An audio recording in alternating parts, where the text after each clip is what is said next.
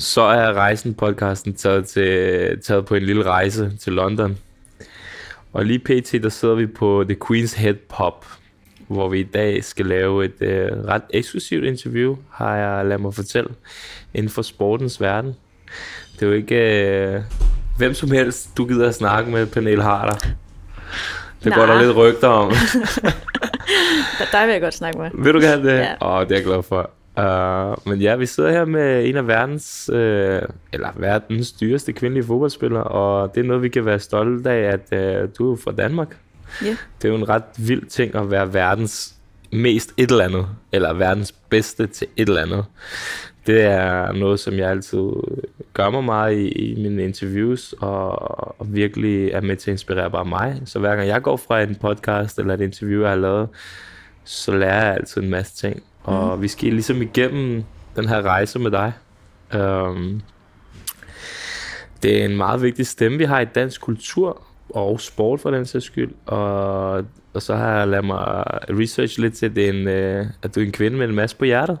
Ja, det synes jeg da. Jeg Og, som vi, og ikke så meget small talk, som vi snakker om lige i en interview. Men fedt du er, og velkommen ja. til. Eller det er jo Mange dig, der tak. skal faktisk velkommen mig. Det er jo dig, der bor i London. Ja, det er rigtigt. Nej, mange tak. Velkommen til Drugs, mand. Hvordan går det med dig for tiden? Det går godt. Ja, det kan godt lige komme hjem fra landsholdssamling, og, hvor vi fik 6 point og scorede en masse mål, så ja, det går Det godt. er meget sigende for, at jeg spørger dig, hvordan det går, og det Ja. første, du siger, det, vi fik 6 point, og vi scorede, og, og vi vandt. Det, det viser jo allerede, at du bare lever under fodbold. Ja, det er rigtigt nok. Det er det faktisk. Og det, du bare har det var det første, jeg lige tænkte på. Hvordan går det med fodbold, når du spørger, hvordan det går? ja. Det er ret sigende jo. ja, jamen det er det. Um, det er rigtigt nok, når du spørger, hvordan det går, så tænker jeg på, hvordan- går det med fodbolden? Og så svarer jeg ud for det. Men det er oftest det, der sådan definerer, hvordan man har det jo. Altså hvis det går okay. godt for fodbolden, det, så har jeg det også godt uden for banen. Hvis det går dårligt, så, så er det også svært at, at Men kan det ikke have gå godt. dårligt med fodbolden, gå rigtig godt i privatlivet og kærligheden og alt muligt? Og så kan det også gå godt i fodbold, men gå dårligt i ved, familie, whatever, et eller andet. Jo, men det er rigtigt nok. Men jeg Eller er tror det bare, meget hånd i hånd i din Jeg verden? synes, altså, det går meget hånd i hånd, faktisk. Ja. Altså, fordi det påvirker jo, øh, det påvirker jo en om, hvordan man præsterer på banen, og hvordan Mm. det går. Sådan. Det påvirker, hvordan jeg har det sådan uden for banen, og så selvfølgelig er det godt. Nogle gange kan det være let, eller kan det være lettere at, at tage det væk, sådan fodbolden, hvis det er, at det også, hvis man så uden for banen er forelsket, eller et eller andet. Mm. Øhm, eller har familien har det rigtig godt, der er nogen, der skal gifte sig, eller man får en nevø eller et eller andet. Altså, Ja. så, så hvis man kan fokusere på de ting, så, så kan man faktisk godt nogle gange glemme fodbolden. Men, Mm. øh, men ellers så er det faktisk mest fodbolden, der definerer. Ja. Det må også være grunden til, at du er der, hvor du er sådan rent sportsligt. Altså den mentalitet med, at du bare tunnel vision, ikke? Nu du sagde, du, du har øh, hørt det interview lavet med Bradway, Mm. som også bare er total, altså fodbold, fodbold, planlægning, du ved, de små detaljer. Ja. Øh, Jamen, jeg kan godt ikke genkende til mange af de ting, han sagde, Ja. Martin, i den podcast med, at ja, når man sætter nogle mål, så er det ligesom bare, ja. alt man gør, det er for at komme hen til det mål. Øh, så er det ligesom bare den, ja, tunnel vision i forhold til det. Ja. Øh, hvad hedder det? Hvad render du så egentlig rundt og laver herovre for tiden, altså udover at spille fodbold? Øh, hvordan ser dine dage ud? Jamen altså, det er, at jeg, ja, vi træner oftest fra sådan kl. 10 til, eller vi er inde på anlægget fra 10 til 3 hver dag næsten. Ja. Jeg har nogle fridage også. Men ja, så er det oftest, når vi er inde, så, så tager vi bare hjem og slapper af og gør klar til dagen efter. Så jeg er fra, fra 10 til 3, og hvor meget træner I så? vi har bare én træning. Øh, Om dagen? gange, ja, og så styrketræning også, og så er der behandling og møder. Så rimelig meget fritid. Ja, jo, men det har man jo faktisk. Man, når, Det har, det, nu har jeg interviewet rigtig mange fodboldspillere. Ja. De har fandme meget fritid. Og det er sjovt, at de bruger den ikke særlig fornuftigt. Nej. Altså, måske er det fordi, at de skal restituere rigtig meget og slappe af rigtig meget, fordi man bruger meget fysisk energi Ja. og skal være klar. Men, men hvad laver du så, når du ikke spiller fodbold? Jamen altså, det er jo, at man tager hjem og slapper af efter en træning. så når, jeg er fri, når vi har fridag, jamen, så kan jeg godt lide at tage ind til London og, Okay. og shoppe lidt og ja, spise noget godt mad. Jeg elsker Ja. at spise godt mad og prøve forskellige gode restauranter. Hvad er godt mad? Jamen sådan kvalitet. Jeg har faktisk... Jeg Har har, du været ikke... på det der Nor- Novikov endnu? Er det, hvor er det henne? Det er ret populært i London, har jeg det? bare set. Nå. Jamen, så er det en anbefaling i hvert fald. Ja, Novik. No- Novikov eller sådan noget, tror jeg, det Novikov. Okay. Ja. Det skal Og så er der jeg- Nobu også. Ja. Men Nobu kan du få mange andre steder. Mm. Jeg tror også faktisk, man kan med Nobu. ja. Okay, der fik du lige to anbefalinger. Ja, jeg To måske også lige skrive dem ned. ja. Ja. Men hvad siger du? Hvad for en slags mad? Jamen, jeg kan lide meget forskelligt, bare det er godt kvalitet. Altså asiatisk, meksikansk, italiensk, spansk. Okay, okay. Og også sådan øh, libanesisk. Det Ja. ja. også rigtig godt lide. Libanesisk, Så- der er nogle sindssyge retter. Ja. Nej, så for mig handler det faktisk bare om, at det er en god restaurant. Kvalitet. Ja, ja. 100 procent. Ja. Så der bliver shoppet en del, og bliver og spist en spist. del. Puh, Nogle gange spiller jeg lidt go- golf. Det har jeg bare ikke gjort så meget her på det Okay. sidste. Uh, jeg har faktisk også begyndt at slå græs ude i haven. Være meget ude i haven, det er faktisk en god uh, Okay. meditation på en Ja. eller anden måde. Og jeg, så går man bare rundt og ja, fikser græsplænen og sådan noget. Og koncentrere sig på Ja. én ting ad gangen. Det har aldrig været noget, jeg har gjort før, men så nu her under i ferien, så min kæreste, hun var til OL, og så var jeg hjemme. Plejer hende, der står for øh, havearbejde. Okay. men så var jeg alene hjemme. Og Så vi I har fordelt den sådan øh, ja, vi har lidt rigtig old school, ikke? det er det faktisk. Er, du, så- er det dig, der er manden i forholdet, eller hvad? Øhm, på nogle områder er det Ja. nok, ja. Men nogle områder er det faktisk ikke. Nej, nej. Det er meget sådan en blanding af, hvem Ja. der er mænd og dem Jeg driller forholdet. Nå ja, men altså. Men øh, okay, så det, det lyder jo som en øh, meget standard... Øh, jeg, kender, jeg kender jo flest øh, mandlige fodboldspillere, så det lyder jo meget ens. Ja. Er der, ikke, er der nogen af dem, der slår græs? Måske. Er det? Ej, den har jeg ikke lige hørt, men bare det der med, at man slapper meget af, Ja. og man, man skal ikke lige gøre alt for meget. Mm. Øh, man skal helst øh, spare kræfterne, både mentalt og fysisk, Ja. til, til at spille fodbold og træne. Ikke? Det er jo fysisk og mentalt krævende at være på arbejde. Det går, at vi ikke arbejder lang tid, Nej, øh, men når de der to timer eller halvanden time, vi er ude på træningsbanen, det er jo virkelig ja. på grund af konkurrence, og det skal man bare præstere hver gang. jeg tror, det mentale er langt over end det fysiske. Det, det er det, helt sikkert. Altså med længder faktisk, tror jeg. Ja. Især når man spiller i England, ikke? Nu ved jeg ikke, hvordan er, altså man ved jo, den engelske presse, når det kommer til øh, mandlig fodbold, mm. ikke? Eller hvad vi skal kalde herrefodbold. Er det det, man kalder det? ja. Det, Det, kan godt være, det ikke er det samme. Det kan godt være, det ikke er det samme, altså præ, rent pressemæssigt. Øh, altså selvfølgelig er det ikke det helt det samme overhovedet, fordi at sådan generelt så her fodbold er meget mere fokus på, meget mere presse, men jeg synes faktisk, at jeg har kunne mærke mere Mm. fra pressen, den her, de her Okay. forventninger. Men det er jo sådan noget, du trives så med, ikke? Du vil da Jo. hellere have, at der er nogen, der snakker og siger dårlige ting, eller siger noget, end at de slet ikke siger noget. Ja, ja, helt sikkert. Det var jo lidt det, der var kedeligt i Tyskland, at der var ikke Ja. den samme fokus på det. Okay, okay. Så nu, når jeg kommer til England, så er der meget mere fokus på, på kvindefodbolden, og der er både kritikere og... Altså nogle gange synes jeg i kvindefodbolden, at der er flere, der bare er gode medier, fordi at man vil snakke godt om kvindefodbolden og, støtte det, og de her det ting. længere frem og sådan noget. Ja. Men altså, herover er der begge dele, at man, Okay. har også, man er også kritisk. Øh, Er det ikke fedt? jo, det er det godt. Sådan skal det være. Det skal både være det gode og det Ja. ja, mindre gode. Ja, fordi så føler jeg også, at man på en eller anden måde så tager man det mere seriøst. Selv Præcis. altså også, og det hele vejen rundt, ikke? Ja, netop. Det kan jeg godt se. Øhm, inden vi lige starter interviewet sådan helt ordentligt, ikke? Yes. så har jeg lige en forespørgsel fra min ven, som øh, spørger, om du kan skaffe den der trænerjakke, som Jukkel render rundt med. Den der lange blå der, den der rigtig trænerjakke? Ja, den der, går helt under knæene, og sådan en rigtig stor øh, blå jakke. Ja, sådan en rigtig vinterjakke. Eller... Kan du skaffe den? Det kan jeg så måske godt. Perfekt. Sago, det, han, er, han er landsholdsspiller på basketlandsholdet, og han Okay. har let efter den der Chelsea, han er Chelsea-fan, ikke? Ja. Den der jakke, alle steder, han siger, han kan slet ikke skaffe den Okay. steder. Jamen, hvis du viser mig et billede af den, for jeg er ikke helt Jeg sikker har den på, faktisk at på jeg... min telefon. Prøv lige at give mig min telefon. Den er øh, bagløg. Den ligger faktisk, jeg har screenshotet den. Skal vi se her. Det er altså... Den plejer at være sådan en rigtig øh, Arsene Wenger-jakke. Den der, han Ja. aldrig kan finde ud af at lukke og åbne. Det er den her. Du kan se, at han siger, spørg om Nå, du kan sådan en der. jakken. Ja, ja, sådan en har jeg. Perfekt. Jeg har en, jeg har selv en også. Perfekt. Vi Men, tager, øh, vi tager og stjæler den. Det kan godt være, den er for lille. Nej, den kan ikke passe. Den er to meter eller sådan noget. Men øh, vi skal nok betale. Ja, ja. Vi skal bare skaffe den.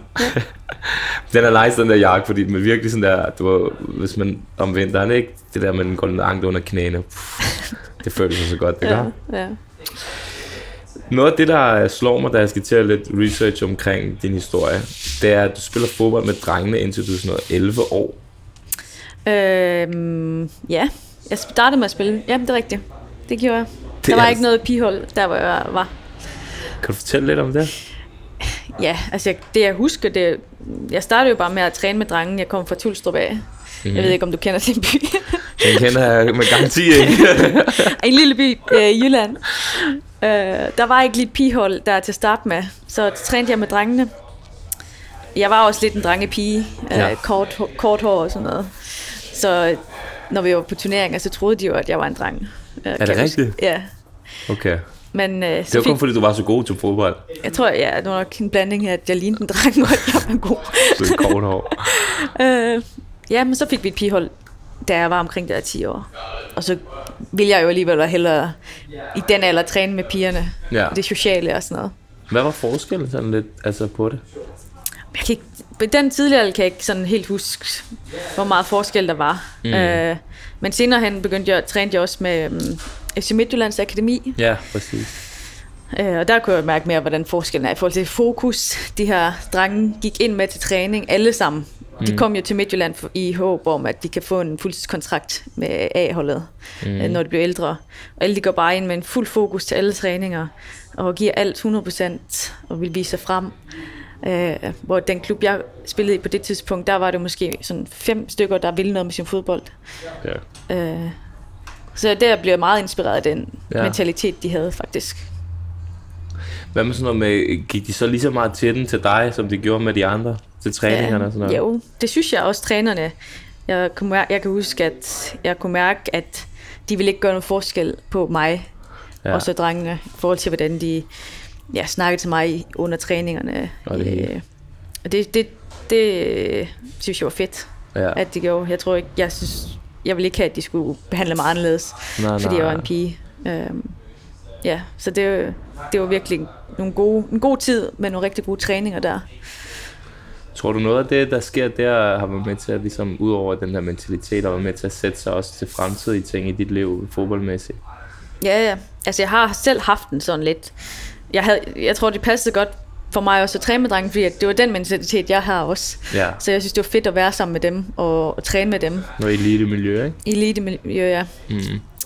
Men ja, jeg blev også meget inspireret af, hvordan de sådan satte målsætninger hele tiden. Og ja, min, jeg, jeg havde en kæreste, der var på akademiet der også. Og han, han blev også inspireret af, han havde han satte målsætninger hele tiden, og havde mental træner. Og det følger også, sådan, det vil jeg da egentlig også have, en mental mm. træner, som kan hjælpe mig. Så det fik jeg sådan ret tidligt, og ret tidligt så var det sådan, hvordan kan jeg gøre mig til den bedste udgave af mig selv? Hvad for nogle eksperter skal jeg have? Øh, sådan Okay. mentale tænker jeg, okay, men så skal jeg have mentaltræner, som hjælper mig. Og så var der også en god øh, afslutningstræner i Midtjylland, som jeg også kom ind under. Træne med ham nogle gange i ugen. Og, og så senere hen, så begyndte jeg begyndte også at blive med en god agent og de her ting. Ja, okay. Ja. Så jeg har sådan altid set mig selv som sådan lidt en... Et produkt. produkt. Ja, ja, præcis. det Men det er jo altså i sidste ende, kan man sige, det nymoderne fodbold, der er, altså fodboldspil er jo bare et, et produkt. Ja. Altså øh, ærgerligt, men, ja. men det er jo sådan, det er blevet, ikke? Mm. Og dem, der kan se sig selv som det, øh, og hele pakken rundt om, øh, og arbejde på sig selv og se sig selv som et produkt, de kommer bare langt. Mm. Altså det er jo ikke altid, man hører jo altid historier, men det er jo ikke altid dem med det største talent, der når længst. Nej, overhovedet ikke. Nærmest tværtimod. Altså, Jeg har set rigtig mange, der har kæmpe talent, men de har bare ikke haft mentaliteten, og så er de bare ikke kommet videre. ja. Så er nogle af de holdkammerater, jeg har haft, som er virkelig kommet langt, hvor et, måske talentet ikke har været noget specielt, men virkelig en god mentalitet. Mm. Altså sådan den her super vindermentalitet. Og så det kommer man bare langt med, altså. Eller også beslutninger, både på banen, mm. men også ude for banen. Ja. Jamen, det Øh, handler om at lægge en god plan. Jeg sådan, fra en tid, tidlig alder også ville lægge en god plan med min karriere. At huske, når jeg var færdig med gymnasiet, så vidste jeg, okay, så vil jeg til udlandet. Fordi den danske liga var ikke så god. Mm. Og så sådan, skal jeg tage til Tyskland, som er måske der, hvor jeg følte var bedst på det tidspunkt, eller skal jeg tage til Sverige, øh, som er et skridt opad, men er stadigvæk ikke kæmpestort. Mhm. Um, så valgte jeg jo så tage til Sverige, fordi jeg følte, at det er der, jeg kan udvikle mig. Mm. På det tidspunkt havde jeg stadig ikke vundet nogen titler i Danmark, og det hold, jeg tog til i Sverige, Linköping, det var heller ikke et tophold. Men der gik jeg kun ud fra, hvordan kan jeg blive bedre. Mm. Tænkte ikke på at skulle vinde titler på det tidspunkt. Så jeg tog til så et midterhold der, hvor jeg følte, de havde brug for mig. Mm. Jeg, kunne, jeg ville komme til at spille hele tiden. Uh, jeg ville kunne, kunne hjælpe dem. De ville, kunne, de ville føle, at jeg sådan giver noget til holdet. Ja, ja. Og på den måde, så ville jeg også blive øh, værdsat tidligt i klubben, tænkte jeg. Mm. Stedet for at tage til nogle af de andre klubber, som var interesserede, sådan topklubber, hvor jeg måske ville sidde på bænken i starten. Så var jeg sådan, nej, Men nu når skal du jeg skal spille. tage sådan nogle valg, som du gør der, som City Basketball lavede rigtig gode valg, der er jo også rigtig mm. mange, der tager for hurtigt skridt op, og så er det faktisk rigtig svært at komme tilbage op, fordi du faktisk rører ned. Ja, ja. Det er nemmere at bygge sig selv langsomt op, Ja. og det er jo også nogle gange, mange gange rigtig godt agentarbejde, eller rigtig gode øh, rådgiver omkring en, eller ens egen mavefornemmelse omkring det. Hvordan, hvordan ser du den situation? Jamen, det var min egen opfatning af det, Mm. mm. faktisk. At tage de her beslutninger med at få en lang, bygge det langsomt op, og så tage de skridt, når jeg er klar til dem. Jeg følte Mhm. ikke, at jeg var klar til at tage til Wolfsburg i Tyskland, da jeg var 19 år, fordi jeg var ikke sikker på, at jeg ville blive en startspiller, og jeg følte Mhm. mig egentlig heller ikke som måske mentalt klar. Jeg følte mig ikke helt færdigudviklet sådan, til at være, spille på topniveau i, Mm. i Europa der. Så jeg valgte at tage til Sverige, fordi ja, et lidt mindre skridt for at tage mm. det Mhm. store skridt. Og nogen, som satser på dig også, ikke? Ligesom giver dig den selvtillid og ro Præcis. og alle de her forskellige ting. Og så fik jeg en god træner, der satte 100% på mig Ja. i Linköping. Ville mig, altså ville bygge spillet op omkring mig. Ja, og han så, vil også bygge andre ting op. Gav han dig lige en kæreste og sådan Ja, noget. Du ved, tænker, okay, nu gør vi en glad uge ja, han banen. hentede, det var faktisk ham, der hentede Magda til Det er det, jeg mener. Henter han lige kæresten, og så, uh, nu skal vi lige gøre hende ekstra glad, og Ja. så bum, så var vi helt flyvende, ikke? Præcis. Hvad hedder det? Hvad med sådan noget som... Øh, så har jeg bare tænkt på noget med som forældrene. Ja. Har de altid været... Selvfølgelig kan det godt være, at de har været støttende, men har de også været sådan lidt støttende på den der måde, sådan, okay, der kan ske noget her, og det kan blive rigtig stort, og det kan, altså, eller har det bare været sådan en Jeg tror, stille og roligt? jeg tror hele tiden, de har kunne mærke, at, der kunne, at jeg havde kæmpe talent, eller at Ja. ja. jeg havde noget specielt, også med den måde, jeg gik til ting på. Mm. Tingene på, at jeg altid vil træne, og jeg brokkede mig aldrig over at skulle til træning, eller sådan nogle ting, Mm. mm. og ville altid være bedst, tror jeg. De kunne mærke tidligt, så jeg tror, de har vidst, at hvis de gjorde det rigtigt, Ja. så kunne det, kunne det blive til noget stort. Er det noget, du har fra en af dem, eller fra begge to? Den der... Men jeg tror, det er en god Vinder. blanding. Altså min far, han var nok den, der var bedst til fodbold. Så jeg tror, de fodboldskills har jeg Ja. nok fået fra min far af. Altså, sådan den der vinder-mentalitet, eller den der med at bare arbejde hårdt og Mm. ja, ikke give Den op. jyske. Den jyske, Ja. det var meget fra min mors, øh, mors side af. Um, men min far har den også. Jeg synes, de har været meget gode til at... Hvordan de har, de har fået mig til at få Mm. det bedste ud af mig. Men grunden til at spørge det, fordi mange gange så ser man for eksempel, øhm, nu kommer jeg selv fra et miljø fra anden etnisk forældre og sådan noget. Og dum en stemme, hun har lagt hende der. øhm, hvad hedder det? og så, øh, så ser man mange gange, at nogle af dem, som når ret langt, det er faktisk fordi, de har den der støtte ved siden af, ude på sidelinjen for forældrene, som kommer og er der, fordi det er jo ikke altid, man spiller godt, det er ikke altid, man har mm. optur på og alt muligt. Og den der støtte med også nogle gange være på bænken, og det går dårligt. Hvis man har støtten hjemmefra, og kan mærke den, Ja. Ikke kun hvad der bliver sagt, Nej. at sige ting, det er sådan, det kan alle gøre. Åh, oh, kom, du ved, men mm. det der med at mærke, at Ja. være der og se kampene, Præcis. Jamen, støtte og sådan noget, det kan bare nogle gange gøre, Ja. make it or break it nogle gange. Men det er netop det, mine forældre, de er måske faktisk ikke nogen, der siger ret meget. Altså Nej. sådan, de siger om god kamp, ikke så god kamp, men øh, skal bare gøre det bedre næste gang, eller Ja. ja, ja det ved sådan nogle ting, men for dem er det virkelig, hvordan de har ageret i det. At De har, Præcis. Da jeg spillede, jeg kan ikke huske, hvor gammel jeg var, men så spillede jeg i Viborg. Mm. Jeg havde ikke kørekort nu, men så kørte de mig frem og tilbage, Ja, sådan sådan nogle time ting. frem og tilbage, fire gange i ugen, mm. efter de har været på arbejde. Og så stod Men det er jo også mere handling end ord. Jamen præcis, Ja. ja. og de har set så mange af mine kampe, og de, både i landskampe i Danmark og i Sverige og i mm. Tyskland og nu i England. Um, så den støtte der, den, jamen det er klart, den har betydet virkelig, virkelig meget for mig. Mm.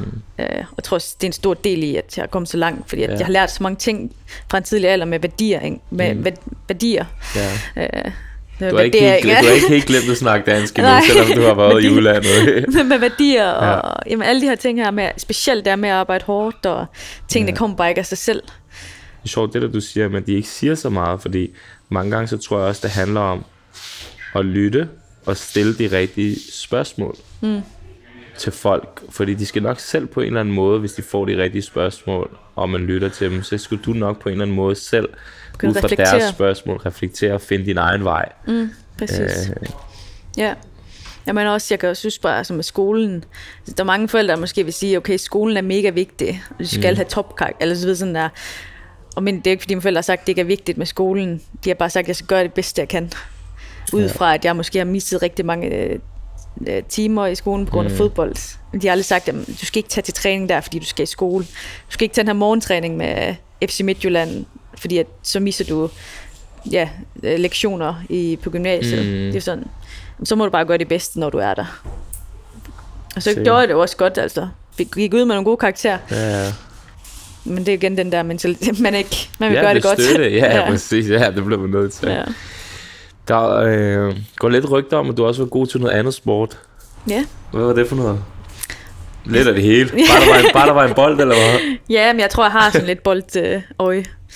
Så jeg spillede håndbold, Ja, som jeg var meget god til. det er sådan en rigtig lys ting. Jeg spillede håndbold, ja. Ja. Også i ikast. Ja, selvfølgelig. Og, øhm, Men hvad Og var det så, der gjorde, at det var fodbold? Altså sådan... Hvad er det, du kan mærke, der er ved fodbold, og hvornår er det, at det bare bliver, okay, det er fodbold, det her. ja. Jeg kunne mærke, at jeg var bedre til fodbold, sådan jeg kunne komme længere i fodbold end håndbold. Så tænkte bare, okay, Og så synes jeg bare, at det var, ja, det ved jeg ikke, jeg elsker bare at spille fodbold. Altså, Ja. jeg trænede både og spillede ude i haven, når jeg ikke øh, var til træning med holdet, og spille fodbold hele tiden. Så det var jo bare et let valg et eller andet sted. okay. Men øhm, hvad med nu? Altså, hvad er det, hvad er det der tænder dig ved fodbolden? Hvad er det, du, altså, Men, er det græsplanens duft, eller er det Nej. de hårde taklinger, eller er det, hvad er det? jamen, jeg tror, det som jeg synes, er motiv- der motiverer mig og ligesom giver mig sådan en glæde i hverdagen, det er den der følelse af, at øh, jeg udvikler mig hver dag. Øh, og at jeg føler, jeg kunne mærke, at jeg havde sådan en stor potentiale i fodbold, at jeg kunne blive til noget. Og jeg synes, det er fede, det var det der med, at, eller det fede er med at, at træne og se, hvor god jeg kan blive. Det er det, jeg synes, der ja, er fedt ved sport Mm. mm. og ved fodbold nu, at, ja, at jeg bare kan jeg træne en masse og udvikle mig. Se, hvor god jeg kan blive til, til det, jeg gør. 17 år, hat i første landskamp. Øh, hvad er det for en ung kvinde, der går på banen den dag, og hvad er det for en mentalitet? Vi har snakket lidt om den. Ja. Jamen, Kan jeg huske, at jeg var mega nervøs. Var du det? Ja, det var jeg. Jeg var virkelig nervøs. Sådan. Jeg spillede den første landskamp og tilskuer. Og, ja. Så jeg var virkelig nervøs, kan jeg huske. Øhm, Men så når jeg kom ind på banen, så glemte jeg bare alt. Mm. Og bare tænkte på at spille fodbold. Og jeg skruede det der hat der. Så var det bare den bedste følelse bagefter. Sådan en følelse af, det var øh, completed øhm, på en god måde. Så lige pludselig, så, bah, så, så fjerner du bare alle de der tanker og følelser. Ja. Ja, når jeg kom ind på banen. Det var alt, det er altid sådan op til, hvor jeg Første eller er sidste mål bedst? Bedst. Altså følelsesmæssigt. Hat-trick, eller det Nå. første, du, åb, du prikker hul på bylden, eller når du også scorer hat-trick? Ej, det er lige... Ja, det ved jeg faktisk ikke. Den er lidt svær. Ja, det er den faktisk. ja, fordi hat-trick, så er du varm, men Ja. den første, det er der, hvor du åbner op og siger, åh, nu er jeg Ja, lige... fedt. Det er den, der gør, at jeg kan score et hat-trick. Ja, Øhm, ja, jeg tror, den bedste følelse er nok efter det første mål. okay. Men også, og så er det alt. Den anden bedste følelse så efter det tredje. Ja, Det andet mål, det er sådan... Helt klart. Jeg tænker bare, det er sygt altså, at være 17 år og komme på landet og bare lave hat-trick ja. Første kamp. Det Jamen- ser du jo ikke i, altså, i herrefodbold. Der er ikke en, der kommer ind til 17 og laver tre mål. Altså, sådan, Jeg tænkte ikke så meget over det der, kan jeg huske. Ja, Øh, du følte dig meget moden og klar. Og... ej, det ved jeg ikke. Altså, jeg tror faktisk ikke, jeg var så mega... Eller, jeg, jeg var meget... Man siger jo også bare generelt, generelt jo, at kvinder er mere moden. Altså. Ja. dengang man gik i folkeskole, så var kvinder altid mere moden end Ja. mænd. Det kan Jamen, godt være, jeg at det var- er sådan i fodbold, tror Ja, jeg var meget stille på det tidspunkt. Okay. Ja. Og fokuserede bare på fodbold. Mm. Det var virkelig meget bare fodbold der. Okay. Alt hvad, der var det altså, næsten mere end nu. Men Mere nu er det også ja. meget. Nu er Jeg det kunne- slå græs. Ja, jeg kan huske, at men, den tid, hvor jeg gik på gymnasiet, og, og da jeg fik min debut, og sådan, den periode, der gjorde jeg bare alt for fodbold. Trænede virkelig meget. Øh, og fokuserede kun på andre. fodbold.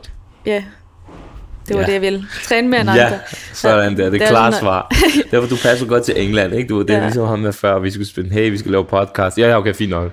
Jeg taler altså lige telefon. Ja, Men jeg skal nok gå. ja. Det, Ja. det, Ej, det er altid været sådan, at når, når vi har fået nogle løbeprogram fra klubben og sådan noget også, så gør jeg altid lidt mere end det, der står. okay. Fordi så ved jeg, at jeg gør mere end mine holdkammerater. Så kommer der lidt andet spørgsmål. Nu når du snakker om fysiologisk og sådan altså fysik og sådan noget.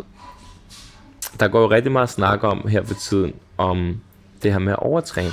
Ja, Er det også noget, I har fokus på i jeres klub? Der går jo rigtig meget snak om det her med, at man ikke skal træne lige så meget, men hele tiden den der filosofi om at træne hårdere, blive ved, og dit og dat, at den faktisk leder til lidt flere skader, mm. leder til lidt, mm, altså at du ikke restituerer ordentligt, at du Ja. ikke er klar, og hvad, hvad synes du om hele den snak? Jeg synes, den er forstyrrende. Er det rigtigt? Ej, Nej, men du skal jo sige, Nej, hvad du synes, føler det er, jo. jeg, jeg synes, Det det er er jo ikke noget, der balance. er rigtigt eller forkert. Jeg synes, det er en balance. Ja, Fordi at, okay, i en opstart for eksempel, ikke i, sis- ikke i sæson, der har jeg jo bare lyst til at træne hårdt for ligesom at blive forberedt med min krop, for at jeg også skal træne mere i sæson. Mm. Altså jeg, har lidt, jeg tror på, at man kan træne sig til, at man kan træne meget. Mm. Øh, men der og er ikke også... den der træne sig til at blive skadet. Jamen jeg tror også, at træner man for lidt, så bliver man da også skadet. ja. Så er man ikke sådan ja. forberedt med musklerne. Og, Hvordan har din skadeshistorik været? mm, jamen den har været god. Skal jeg lige... Ja, hvad er det, man gør sådan der? gøre 7 i 13. 7 i 13. Den har været god. Ja. Jeg har, ikke, jeg har haft nogle små skader. Jeg havde nogle... Jeg tror da, måske på et tidspunkt i min karriere har jeg måske været lidt overtrænet, overtrænet. Mm. For der havde jeg lidt sådan overbelastende skader bare, men Men kan du alligevel. egentlig, om du var stresset i den tid, du fik skade? Stresset. Ja, altså sådan, og hvad for en øhm, slags skade var det? Men det været sådan nogle baglåsskader. Grund til det er derfor, jeg spørger ja. Ja. dig, fordi jeg har læst en studie på, der siger, at mentalt, hvis man er stresset, mm. øh, så er der nogle forstrækningsskader, som okay. er hyppigere Ja. kommer, end hvis man er i balance og afslappet, og det går godt, mm. du ved, og sådan noget. Jamen, det kan godt passe. Ja. Ja, men altså den der med at... at fordi det er jo lidt den mentalitet, der også er i klubben. Ja, Øh, er det det? Ja, men også fordi, når det er, at det kommer op til de lidt større klubber, og også nu, når der, de har købt mig for nogle, for nogle penge, og man lige pludselig har fået en værdi, sådan ja. pengemæssigt også, så vil de gøre alt for, at man ikke bliver skadet. Selvfølgelig. Og så er den letteste måde, det man tænker, er, at det ikke at man træner, man skal ikke træne for meget. Ja. Eller spille for meget. Ja, spille for sådan, at meget, du- hvile er nogle så gange og sådan noget. Så, så du er ikke typen, øh, du er ikke typen øh, ligesom øh, Messi Ronaldo. Man skal ikke skifte ud i 70. Nej. Vel?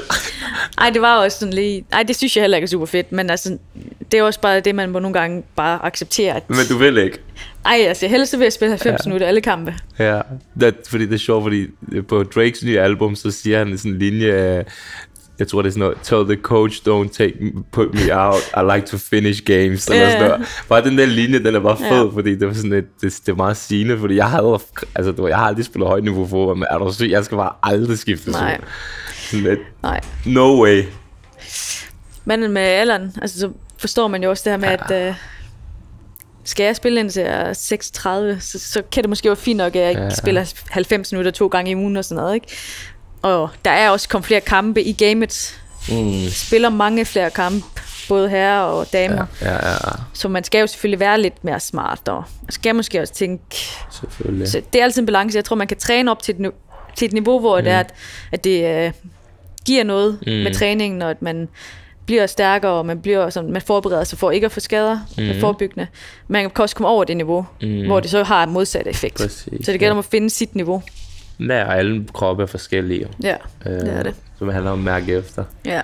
Så du Messi forleden, da han blev skiftet ud? ja, det gjorde. Han var ikke tilfreds. Det kan jeg så også godt forstå. Altså, jeg føler, det er sådan noget, jeg føler, det er sådan noget, altså, at der, kommer en fyring på træner. Ja. ja.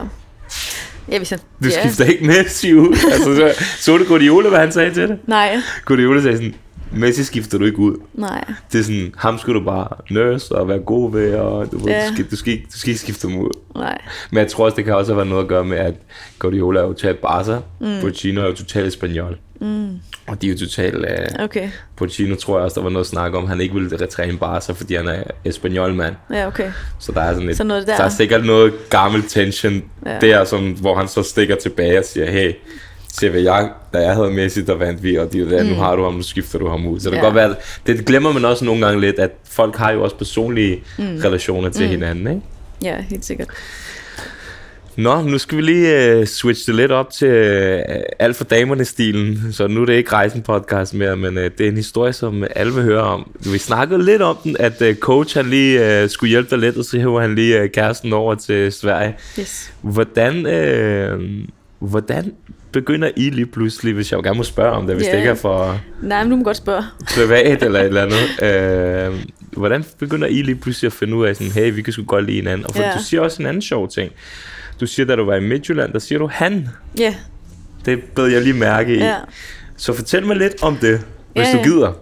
Ja, men jeg havde jo en øh, drengekæreste der Ja. i tre år, tror jeg faktisk. Ret Ja. lang tid. Så flyttede jeg til Sverige, og så gik det ikke på grund af lang distance og sådan noget. Ja. Øhm, men ja, altså med Magda, så... Det gik, det var først et år efter, at vi har været 12 kammerater, men vi var sådan... Vi var ikke sådan mega gode venner, men fine venner. Og så begyndte vi at snakke lidt mere sammen, og så begyndte det bare at blive, at jeg ville være med hende, sammen med hende hele tiden, og det begyndte at være sådan lidt, jeg var sammen, mere sammen med hende, end jeg var med mine normale venner. Så Ja, ja. der er måske lidt mere i det, og ja, så tror jeg bare, der kom nogle følelser op, og begyndte at få sådan lidt sommerfugl i maven lige pludselig, og Men på det tidspunkt der, ikke? Vidste du godt selv, at du også var til kvinder? nej, det gjorde jeg jo ikke. Så, og det, Var hun? øh, ja, hun var. Helt straight med det. Altså, før Så hun hun, var ikke så dig. straight. nej, nej, jeg forstår, du forstår godt, hvad jeg mener. Men før hun mødte dig. det var, det ja, var ord. ja, ja, hun var, øh, hun var ikke så straight. Okay, ja. så hvordan, hvordan sker det? Jamen, så, så Det synes jeg er pisse interessant. Jeg aldrig Ja. snakket om sådan nogle ting i en podcast. Og så kommer det også fra, du fra en mand af og sådan noget. Ja, ja. Jeg synes, det er pisse spændende. Bare Ja. lige så du ved. Jamen for mig er det jo, det er jo helt sikkert hendes personlighed, som jeg faldt Ja. ja. for. Altså, og det er jo det, jeg falder for, tror jeg. Personligheder. Mm. Øhm, jeg synes, hun var mega cool og interessant, og elskede hendes mentalitet, og ja, og så begyndte det jo, så var mig, der tog initiativ, fordi at jeg tror ikke, hun vidste rigtigt. Det var jo mere mig, jeg vidste jo, at hun var til piger. Ja, okay. Så hvis der var nogen, der skulle tage initiativ, så tænker jeg, det var mig, og så tænker jeg bare, why not? Altså jeg også, hvis jeg føler noget, så går jeg efter det. Ja, ja. Jeg, jeg gider ikke, og ja. Hvis jeg kunne mærke, at jeg havde det godt, når jeg var med hende, og jeg havde det vir- sådan virkelig fedt, så derfor tænker jeg, at nu tager jeg noget initiativ, og så, ja, så førte det ene til det andet. Hun var heldigvis også interesseret, så jeg havde fået de rigtige sådan vibes. Okay, hvad, hvad, hvad fanden havde du gjort, hvis hun ikke var, og I skulle spille på hold sammen? så må vi bare være professionelle, ikke? Ja. Sige, prøv at, det var lidt uh, misunderstanding, så, så... Men det tror jeg, jeg tror, Tror du, man godt kan mærke det. Uh, nej, det tror jeg ikke. Nej. Det tror jeg faktisk ikke. Så er det jo bare sådan, som det er. Så er det bare prof live. Prof, ja. Men var du ikke nervøs? Jo da, selvfølgelig. Men nogle gange skal man jo gøre noget, selvom man er nervøs. Ja, det, det, ja. der snakker du til den rette person, lad Ja. mig sige det så. Nej, så... Ja. Og så stille og roligt, du hvornår begyndte folk sådan at finde ud af det, hvornår offentliggjorde I det, og var det også noget, der var, wow, nu, du det, var det også Jamen, det, var, det kom lidt, fordi vi begyndte at hænge mere ud sammen, og vi begyndte at... Det kan godt være, at de andre tænkte, at vi bare var gode venner, men jeg tror bare, at når, man, når der er mere i det, sådan, så ser alle det også. Mm. Så okay. jeg tror egentlig, at alle sammen godt vidste det, uden vi har sagt noget. Okay. Og så... Ja, der gik fra vi begyndte sådan, og jeg ved ikke, hvad man kan kalde det date, eller hvad man kan sige, det var. Øh, så tror jeg alligevel, det gik et års tid, før vi ligesom blev et par, faktisk. Okay. Så det gik sådan lidt op frem og tilbage. Og, for det er jo også det der, netop det med, at vi spiller på samme hold, og så er man sådan lidt... Jeg skal også være sikker på, at det er noget, for vi gider ikke gå i gang med et eller andet, bare for at det så skal stoppe, og så bliver det sådan lidt mærkeligt. Så kan det godt være, at der har været, ligesom du sagde før, med at havde det været lidt mærkeligt så i mm. på holdet. Så vi ville godt begge to være sådan helt sikre på, at det var noget. Øhm, og det var det jo så, kan man sige. Jeg følte mig sådan ret sikker fra starten af. Øh, Okay, jeg skulle bruge lidt mere tid sådan, til at finde ud af. ja, nice. ja, Det var bare en fed historie. ja. Det er sådan lidt... Øh... Jeg har ikke hørt den endnu i, øh... i herrefodbold. Nej, Det kan være, den kommer. Ja, hvem ved, det kunne godt være. Nu får du de tre hurtige. Har du bedre teknik end Josef Poulsen? Det ved jeg da ikke. Jeg er ikke lige... Det er fordi, jeg driller altid Josef Poulsen. Det gør mange af holdkammerater også. Han er lidt sløj teknik, så er hjemmelavet, så skulle bare lige se, hvad du vil svare på den. Du kommer de tre svære, okay? Ja. Så du siger, det ved du ikke. Mm. Næste spørgsmål. Det er nogle rigtig underlige spørgsmål. Mm. Det, er de tre, det er de tre hurtige, ikke? Okay. Uh, hvilket vil- niveau vil du sige er... Lad os antage Chelsea's hold, det du spiller for nu, ikke? Hvem vinder I over med sikkerhed i, i, i, mod mænd? Hvilket niveau? Jeg ved at det er en rigtig underlig spørgsmål, Ja. men jeg bare... Det er sådan et nederen spørgsmål. Ja, jeg ved det godt, det ved jeg godt, men jeg vil bare lige høre dig Jeg sige det. det Det, kan godt være, at vi ikke skal tage det med, men mm. det kan godt være off the record. Ja, ja. jeg ved det faktisk ikke. Altså, det er jo virkelig sådan teknisk. ja. Hvis vi satte tempoet ned på herrene, altså de, havde, de kunne løbe lige så hurtigt som os, de kunne bevæge os lige, eller lige så, hvis vi, eller vi kunne bevæge os lige så hurtigt som dem, mm. og så, Og fysisk også. Ja, fysisk. Ja. Hvis vi havde den samme fysik, fordi teknisk synes jeg faktisk, at vi har meget det samme niveau. Men mm. det er klart, at fysikken gør bare så meget. Øh, så vi har jo spillet mod nogle øh, U17, U16-drenge, Ja, hvor det var, at det blev 1-1. okay. Og det var altså U16, sådan, Det bedste Godt hold. U16-spiller, der er inden for... ja, her i England, det er eller her i regionen. Det er ret sjovt, du siger U16, for det er jo ligesom der rent kropsmæssigt, Ja. at nogen bliver større og vild, og nogen bliver det samme, mm. så er det også faktisk der i herrefodbold, måske også i kvindefodbold, at der er nogen, der tager skridtet videre, Ja, og der er nogen, der bliver det samme sted, fordi de ikke udvikler sig øh, fysisk. ja, præcis. Og det var det, Så det er ret Når interessant, mod at det de er dem, drenge- spiller mod, fordi Ja. det er netop Ja, lige det inden er de sådan- begynder at ja, det, det er bare med fysiolog, altså fy- fysiologien. fy- fysisk, ja, Ja, der er det bare- fy- fysiologisk, ja. fysiologisk, ja, så er det en stor forskel, som gør meget. Altså, hvis man bare er meget hurtigere, det, så kan de slå en lang bold, og så løbe fra vores bagkæde. Så er det fint nok. Så, men taktisk, der kan jeg også mærke, når vi spiller mod de her drenge, at der er vi jo meget bedre end dem, ja. taktisk. Så der, der kan vi få en fordel, Mm. eller have en fordel. Ja, så taktisk og teknisk, synes jeg faktisk, at det er meget sådan... Der er nogle drenge, der har bedre teknik end kvinder, det er da helt sikkert. Mm. Men øhm, den helt store forskel er fysikken. Helt klart. Mm. Så fik du alligevel svaret på mit rigtig nederen spørgsmål. Ja. Jeg, nu ved jeg ikke, om jeg tør at tage det tredje nederen spørgsmål. Nej. Jeg ved ikke, hvor, fordi jeg kan ikke mærke, der føler, hvor vi er og sådan noget. Det som sagt, alt kan jo altid tages ud, hvis det Ja, er. Ej, jeg kan jeg, det, det gør jeg ikke. Stem, stemning, Nu er jeg nysgerrig. Stemningen er der ikke til det. Det er sådan et skolegårdsspørgsmål. Ja. Er du klar til mm. den? Ej, jeg tager den ikke. Jo, jeg gør det fandme, så kan vi altid fjerne den. ja. Hvad hedder det? I skolegården så snakkede drengene altid om, om det gjorde ondt at tæmme bry- øh, bold med brysterne. det er rigtigt. Gør det det? Nej. Så fik vi svaret. Kan du se, det er nogle underlige spørgsmål. Ja, det var fra meget underligt. Men, men vi bliver nødt til at bestille spørgsmål, Ja, men for det det er jo ting. Nu sidder jeg endelig og interviewer en kvindelig, Ja. og så en af de bedste. Nu bliver du nødt til at stille de der underlige spørgsmål. Ja. Skal vi switche den videre? Ja. Var det for meget? Nej, nej, det var fint nok. Det er det fair nok, at du tænker på Det er jo det. sådan et skolegårdsspørgsmål, som alle drengene, så kunne det kunne ud sådan et, man, man tænkte altid sådan et, gør det egentlig ondt, det gør det ikke, du, men nu ved vi det. Nej, prøv at høre her. Du var rigtig glad for at komme til Chelsea, Yes.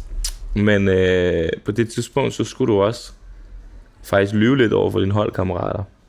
Øh, det må være en meget svær følelse, at lige pludselig skulle sidde med. Især når man tænker på, at du er sådan en meget ærlig person, og sådan mm. ret lojal virker det som. Ja. Øhm, men så kan man også vende om at sige, at fodbold ikke også bare blevet altså sådan et overfladisk mind game? Eller er det anderledes og mere autentisk og mere ærligt måske i kvindefodbold? Mm. Forstår du, hvad jeg? Fordi ja. kvinder er også følelsesmæssigt anderledes. Mm. Ikke, jeg siger ikke, alle er en Nej, til en, men, men, der er mere følelser på en eller anden måde. Det er der. ja, Øh, uden at det skal lyde forkert. Man skal ja. også passe på, hvad man siger nu om dagen, fordi at, ja. Jeg Man tror bare, nærmest fordi ikke her sige- fodbold er så meget business, så det har de været vant til lang tid. ja. I kvindefodbold har det ikke været så meget det her med, at man bliver solgt og købt Mm. for nu her. Og sige det, det var en speciel situation der i Wolfsburg, hvor jeg vidste, hvad der skulle ske, men min holdkammerat vidste det ikke. Mm. Vi snakkede meget om, hvornår skal vi offentliggøre det, hvornår skal jeg sige det til holdet, og fordi at jeg kunne mærke, at jeg vil gerne sige det til dem.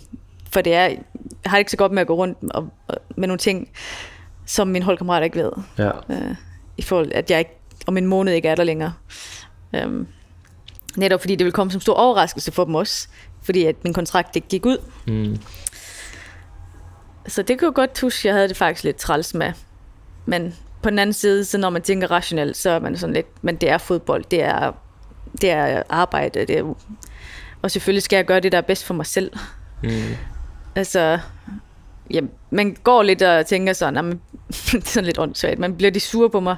Altså svigter jeg mit hold, fordi at jeg, jeg tager væk, og jeg vil væk mm. et år før tid. Uh, det var lidt, måske det sportschefen der sådan lidt synes, jeg gjorde. Uh, men når man tænker over det, så er det bare sådan, men, men for mig er det det her, der er bedst for min karriere. Vi alle har vores karriere. Uh, så er det selvfølgelig, når vi så er her, når jeg er i Chelsea, så gør jeg alt for holdet også. Mm.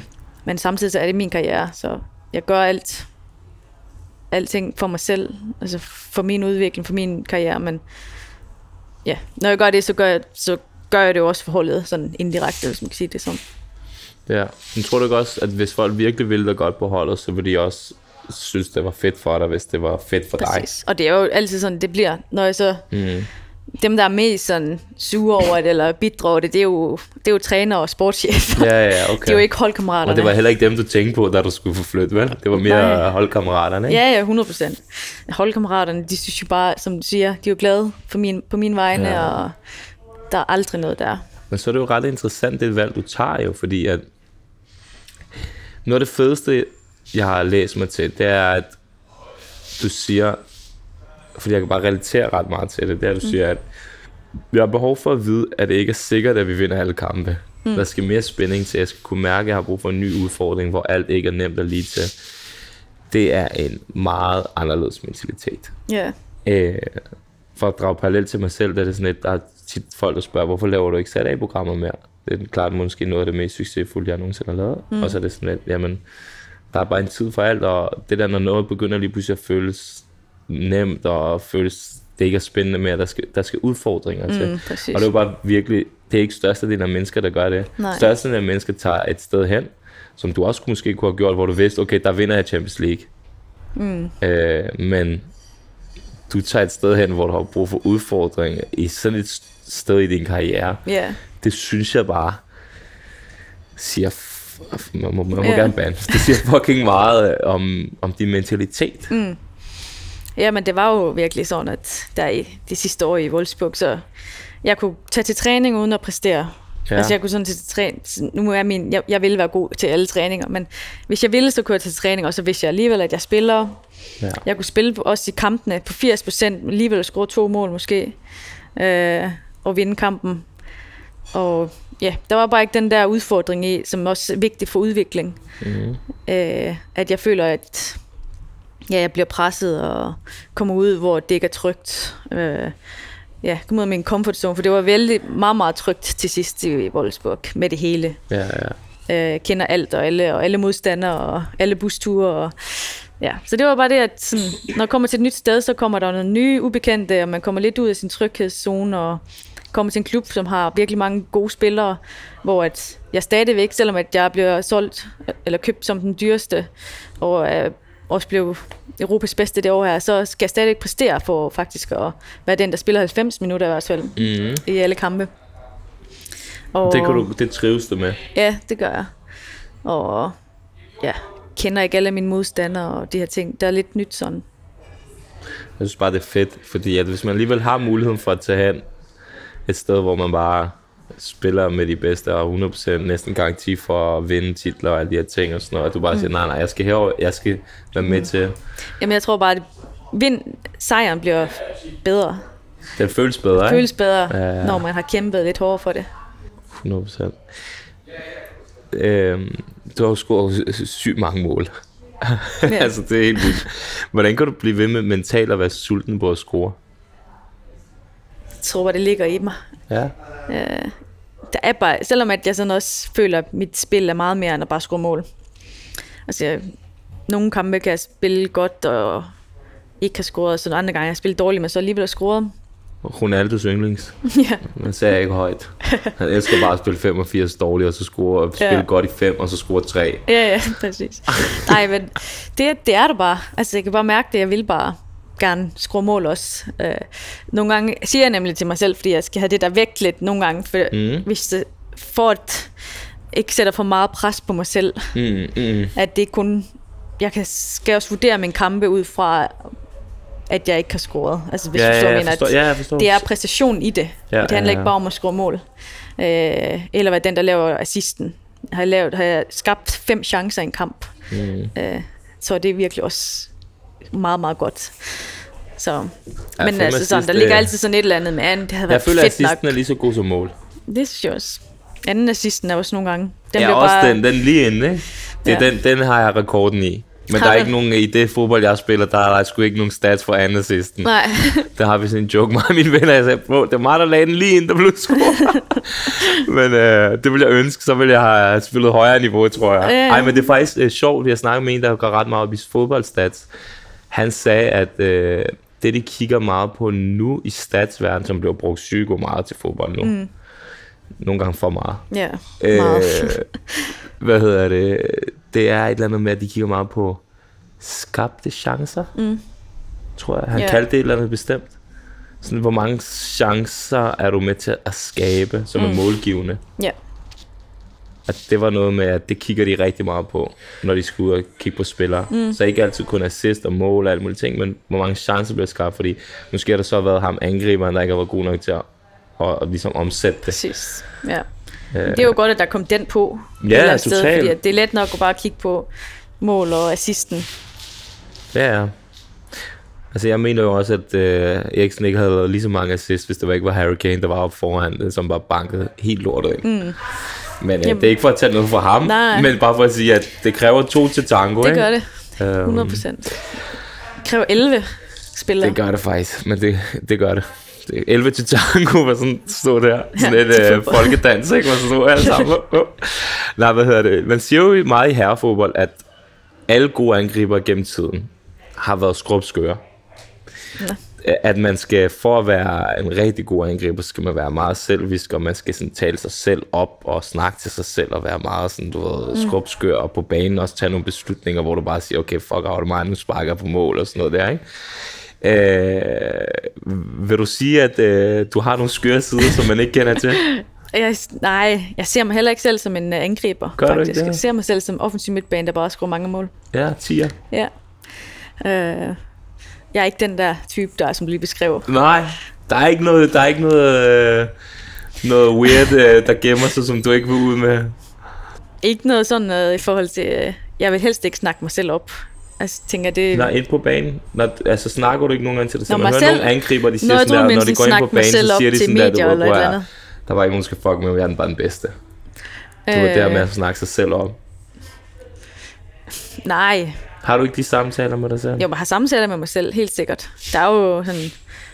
Men det er jo mere, hvis der begynder at komme en lille smule sådan tvivl ind, Ja. hvis man er i en dårlig periode. Mm.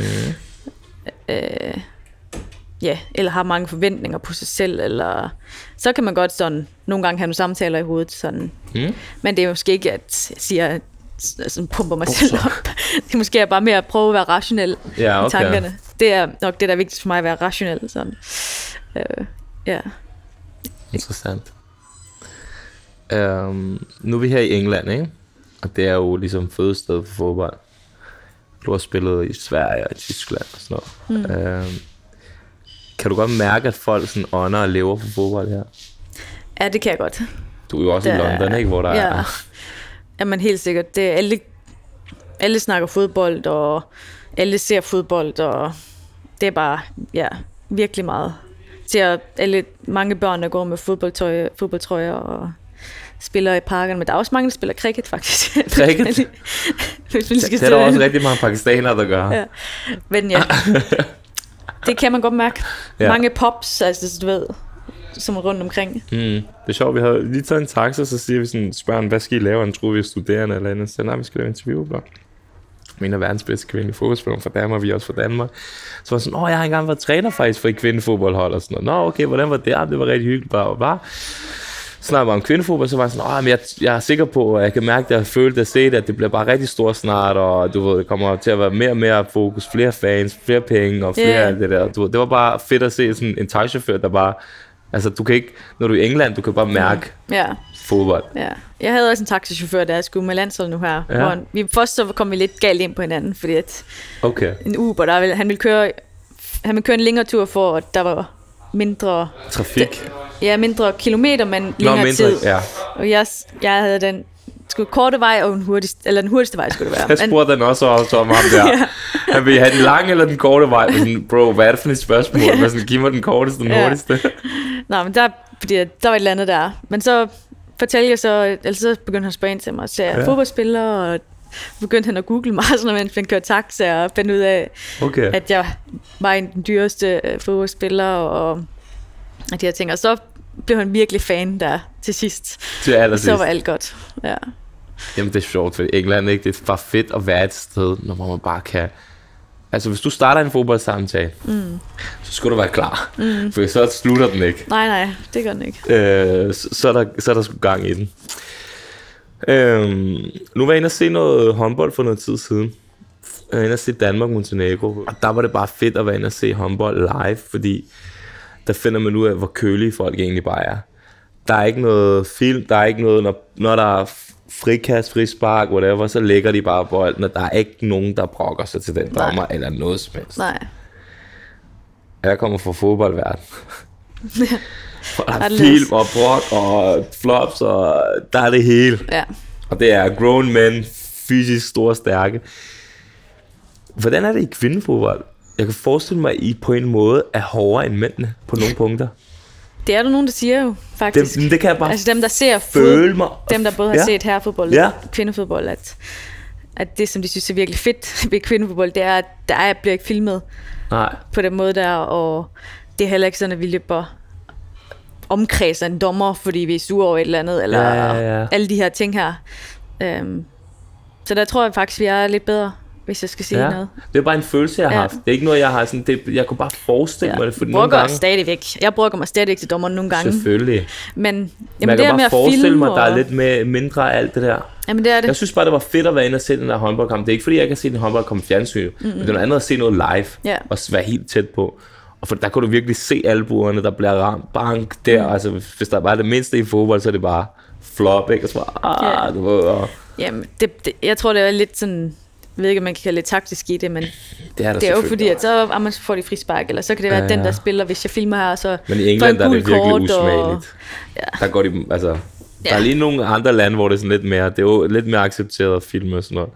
Men vildt nok, for jeg kan virkelig godt for, altså sådan forestille mig, at, at øh, på nogle punkter var, er kvinder bare lidt mere benhårde. Du. Ja, det, er- det er jo også sådan, hvis man sådan tænker generelt, så hvis en mand han er syg, ja, ja. så skal det jo Tro også... mig, det der, man skal ikke undervurdere det der med kvinder, der skal føde, og dit og Ja. dat, og en mand er syg, så er det, øh, Ja, så man har man så ondt af sig der, selv. en uge og sådan noget. og bare, skal jeg jo ikke generalisere, men, nej, altså, nej, prøv her. men de jeg kender... Her. Problemet mange gange i den her verden, vi er kommet til nu, ikke, det er, at nu må man ikke have sin helt egen holdning, Nej, uden at... Okay, lad os sige, at du har en holdning om noget, som er meget skarp. Jeg har en holdning om noget, der er rigtig skarp. Ikke? Ja. Så vi kommer til sådan et punkt, øh, lige pt, det bliver bare værre, tror jeg, hvor at, mm, så kan vi åbenbart ikke være cool. så kan vi ikke være venner. Eller, Ja, eller være cool, selvom vi ikke er venner. Men hvis, lad os sige, at jeg har en holdning om noget, du har en holdning om noget, så bliver alt blået op til sådan, åh, oh, det er en forkert holdning, mm. eller det er, uh, eller et eller andet. Sådan et, hvorfor? Det er det, Ja. jeg føler. Ja, ja. Og vi kan da stadig godt være cool, selvom der er på nogle punkter politisk, eller whatever det nu er, eller bare sådan ren livsfilosofi-mæssigt. Ja. Nej, for nu er alt blevet sort og hvidt. Ja, ja. Nu er det sådan, hvis du siger, at du, det er også derfor, at du lægger mærke til, at nogle gange er vi lidt på pasti med, hvad vi siger. Mm. Og det er jo ikke, fordi du vil være sådan i et lukket lokal. Nej. Kan du følge mig lidt? Ja, ja. Og det synes jeg bare er ærgerligt, at nogle gange så bliver ting også bare sådan lidt, åh, du ved, sådan, yeah. får den der stemning med, at man gerne må, ligesom, jeg synes bare, det er fedt, det du siger tidligere også med, at hvor jeg fucking elsker det her med, at træneren bare går til mig, og det var, der skal slet ikke være nogen forskelsband, det er bare boom, boom, og alt det Mm. der. Det synes jeg bare er nice. Jeg synes mm. bare nogle gange, ach, ja, at man skal passe for meget på. Ja, men det er rigtigt nok. Man kan hurtigt blive dømt for at have... for at have en eller anden holdning, som Ja, ikke er det majority har. Nej, nej. Men sådan, okay, men er jeg så et dårligt menneske, fordi jeg føler det, eller har en holdning. Ja. omkring det? Ja. Vi har faktisk snakket, nej, det, det snakker om det uh, behind the scenes, men corona og sådan noget, det var mm. en hård tid. Men alligevel i Ja. Tyskland, så var det ikke så slemt igen, fordi I spillede Nej. med det samme, ikke? Men det var en slem tid for dig, kan jeg forestille mig, for det var tæt på transferen der. Mm. Det var det nemlig. Var det ikke en af de hårdeste perioder sådan, i din karriere? At vide måske noget er der, Øh, ja. men så alligevel ikke ringe til agenten hele tiden og sige, hallo, Ja. my friend, My friend. Hvad sker der? Ja, jeg var ikke at vide 100% at det sker, fordi jeg var så opsat på det. Også bare at komme herover øh, til Magda også, og med corona og jamen alt. Det var bare, jeg skal bare noget nyt nu. Så det var virkelig den der, okay, kan jeg bare få conf- confirmed Ja. snart? Øh, og så kommer corona, og så bliver man jo lidt usikker. Øj, vil Chelsea stadigvæk bruge penge nu? Mm. Eller, for det er jo, øh, som Marina, altså det er jo ikke bare dame siden der skulle lægge penge i, det var jo ligesom hele klubben. Okay. Nå, Øh. så det er ikke separat budgetter?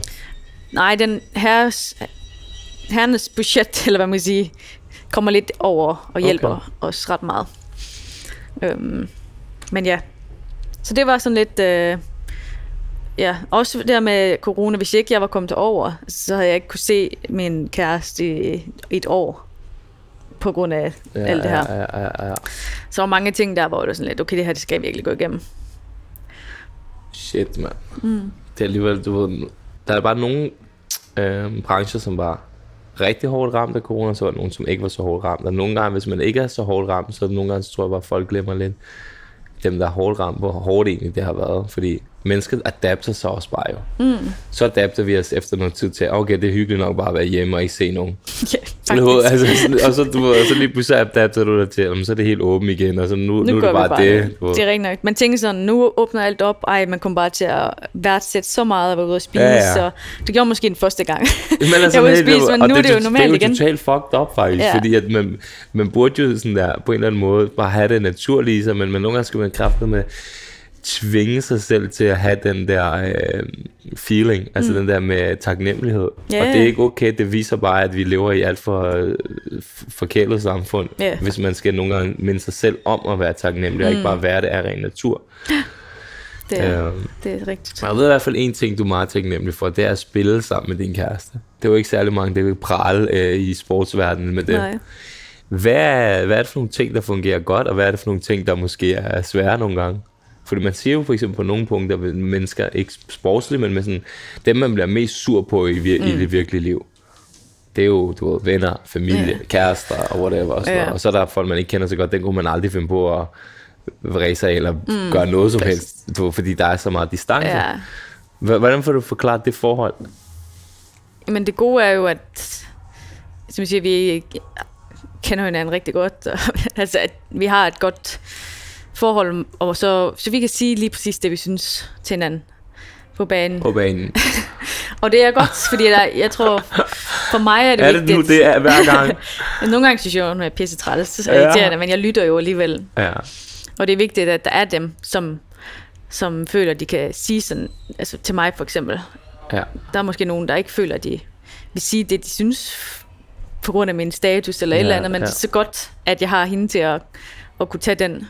Mm. Øhm, selvom jeg, jeg synes, hun er irriterende nogle gange. Mm. Og det samme den anden vej.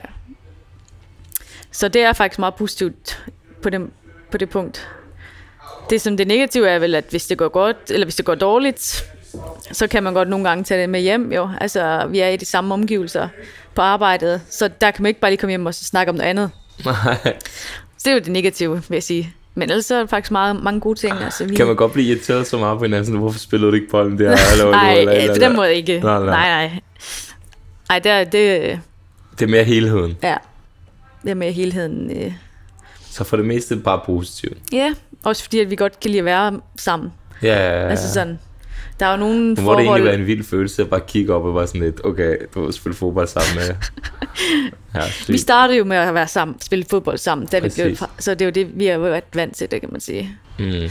Og ja, der er jo nogle forhold, som, hvor man godt kan lide at ikke at være sammen hele tiden og gøre ting sammen hele tiden. Jeg tror, der er mange af dem. Men vi, vi kan egentlig meget godt lide at gøre ting Jeg har sammen. det bedst med ikke at spille fodbold med mine gode venner. Komme op og skændselsfuden. Ja. Ved at have distance til folk, fordi Ja. det lige bliver for tæt, ikke? Ja, Grineren. Mm. Øhm, landsholdet. yes. Øh, EM 17. Øh, rimelig vild succes, ikke? Øh, når ikke hele vejen, men stor Nej. succes stadigvæk. Ja. Store resultater. Hvad har det betydet for dig personligt og for selve kvindefodbolden? Ja, men det var vel lidt den slutrunde, som var gennembrud. Altså for mig personligt også. Det var et halvt år efter jeg flyttede til Wolfsburg. Øhm, og jeg havde en god slutrunde. tror jeg blev nummer to i Europa. Altså runner op til den der Europas player der, Mm. of the year. Det år der, og så personligt var det lidt et gennembrud, hvor øh, mange så, hvilken spiller jeg er i Europa. Og jamen for landsholdet, så var det også en øjenåbner for jo mange i Danmark, tror jeg. Mm. Vi mærkede i hvert fald en stor forskel fra da vi tog afsted, til vi kom hjem. Jeg tror faktisk, Rådhuspladsen i København var helt fuld, da vi kom hjem. Det var virkelig stort, altså at få den der respekt og anerkendelse fra befolkningen, for at ja, jeg er vokset op med, at kvindefodbolden ikke er specielt respekteret eller ac- accepteret eller sådan Anerkendt. anerkendt. Øh, så det var virkelig fedt. Jeg kan huske, da jeg var lille eller yngre, så var det lidt en drøm at komme til at kunne ændre mange syn på kvindefodbolden. Mm. Så det, at, at vi gjorde det der til at starte med, men så også efterfølgende har fortsat med det. Og at jeg også selv personligt gennem min, øh, min øh, performance, altså sådan, har også vist og været med til at udvikle kvindefodbolden. Så det, det er jo noget af det, som faktisk gør mig mest stolt nogle gange. Ja. Det er, øh, Det der er sket ude for fodbolden. Ja. Med fodbolden. ja, altså fået kvindefodbolden til at blive noget anerkendt og blive mere, blive større. Helt klart. Mm. Det er også en virkelig, virkelig stor ting. Men hvad, vil du så, hvad, hvad for nogle ord vil du sætte på så konflikten efter EM, der ligesom førte til at sådan en afgørende kamp med Sverige, der blev afløst, og måske også gjorde sådan, at I ikke kom med til, til Mm. VM? Hvad, Ja. hvad vil du sige til hele, alt det?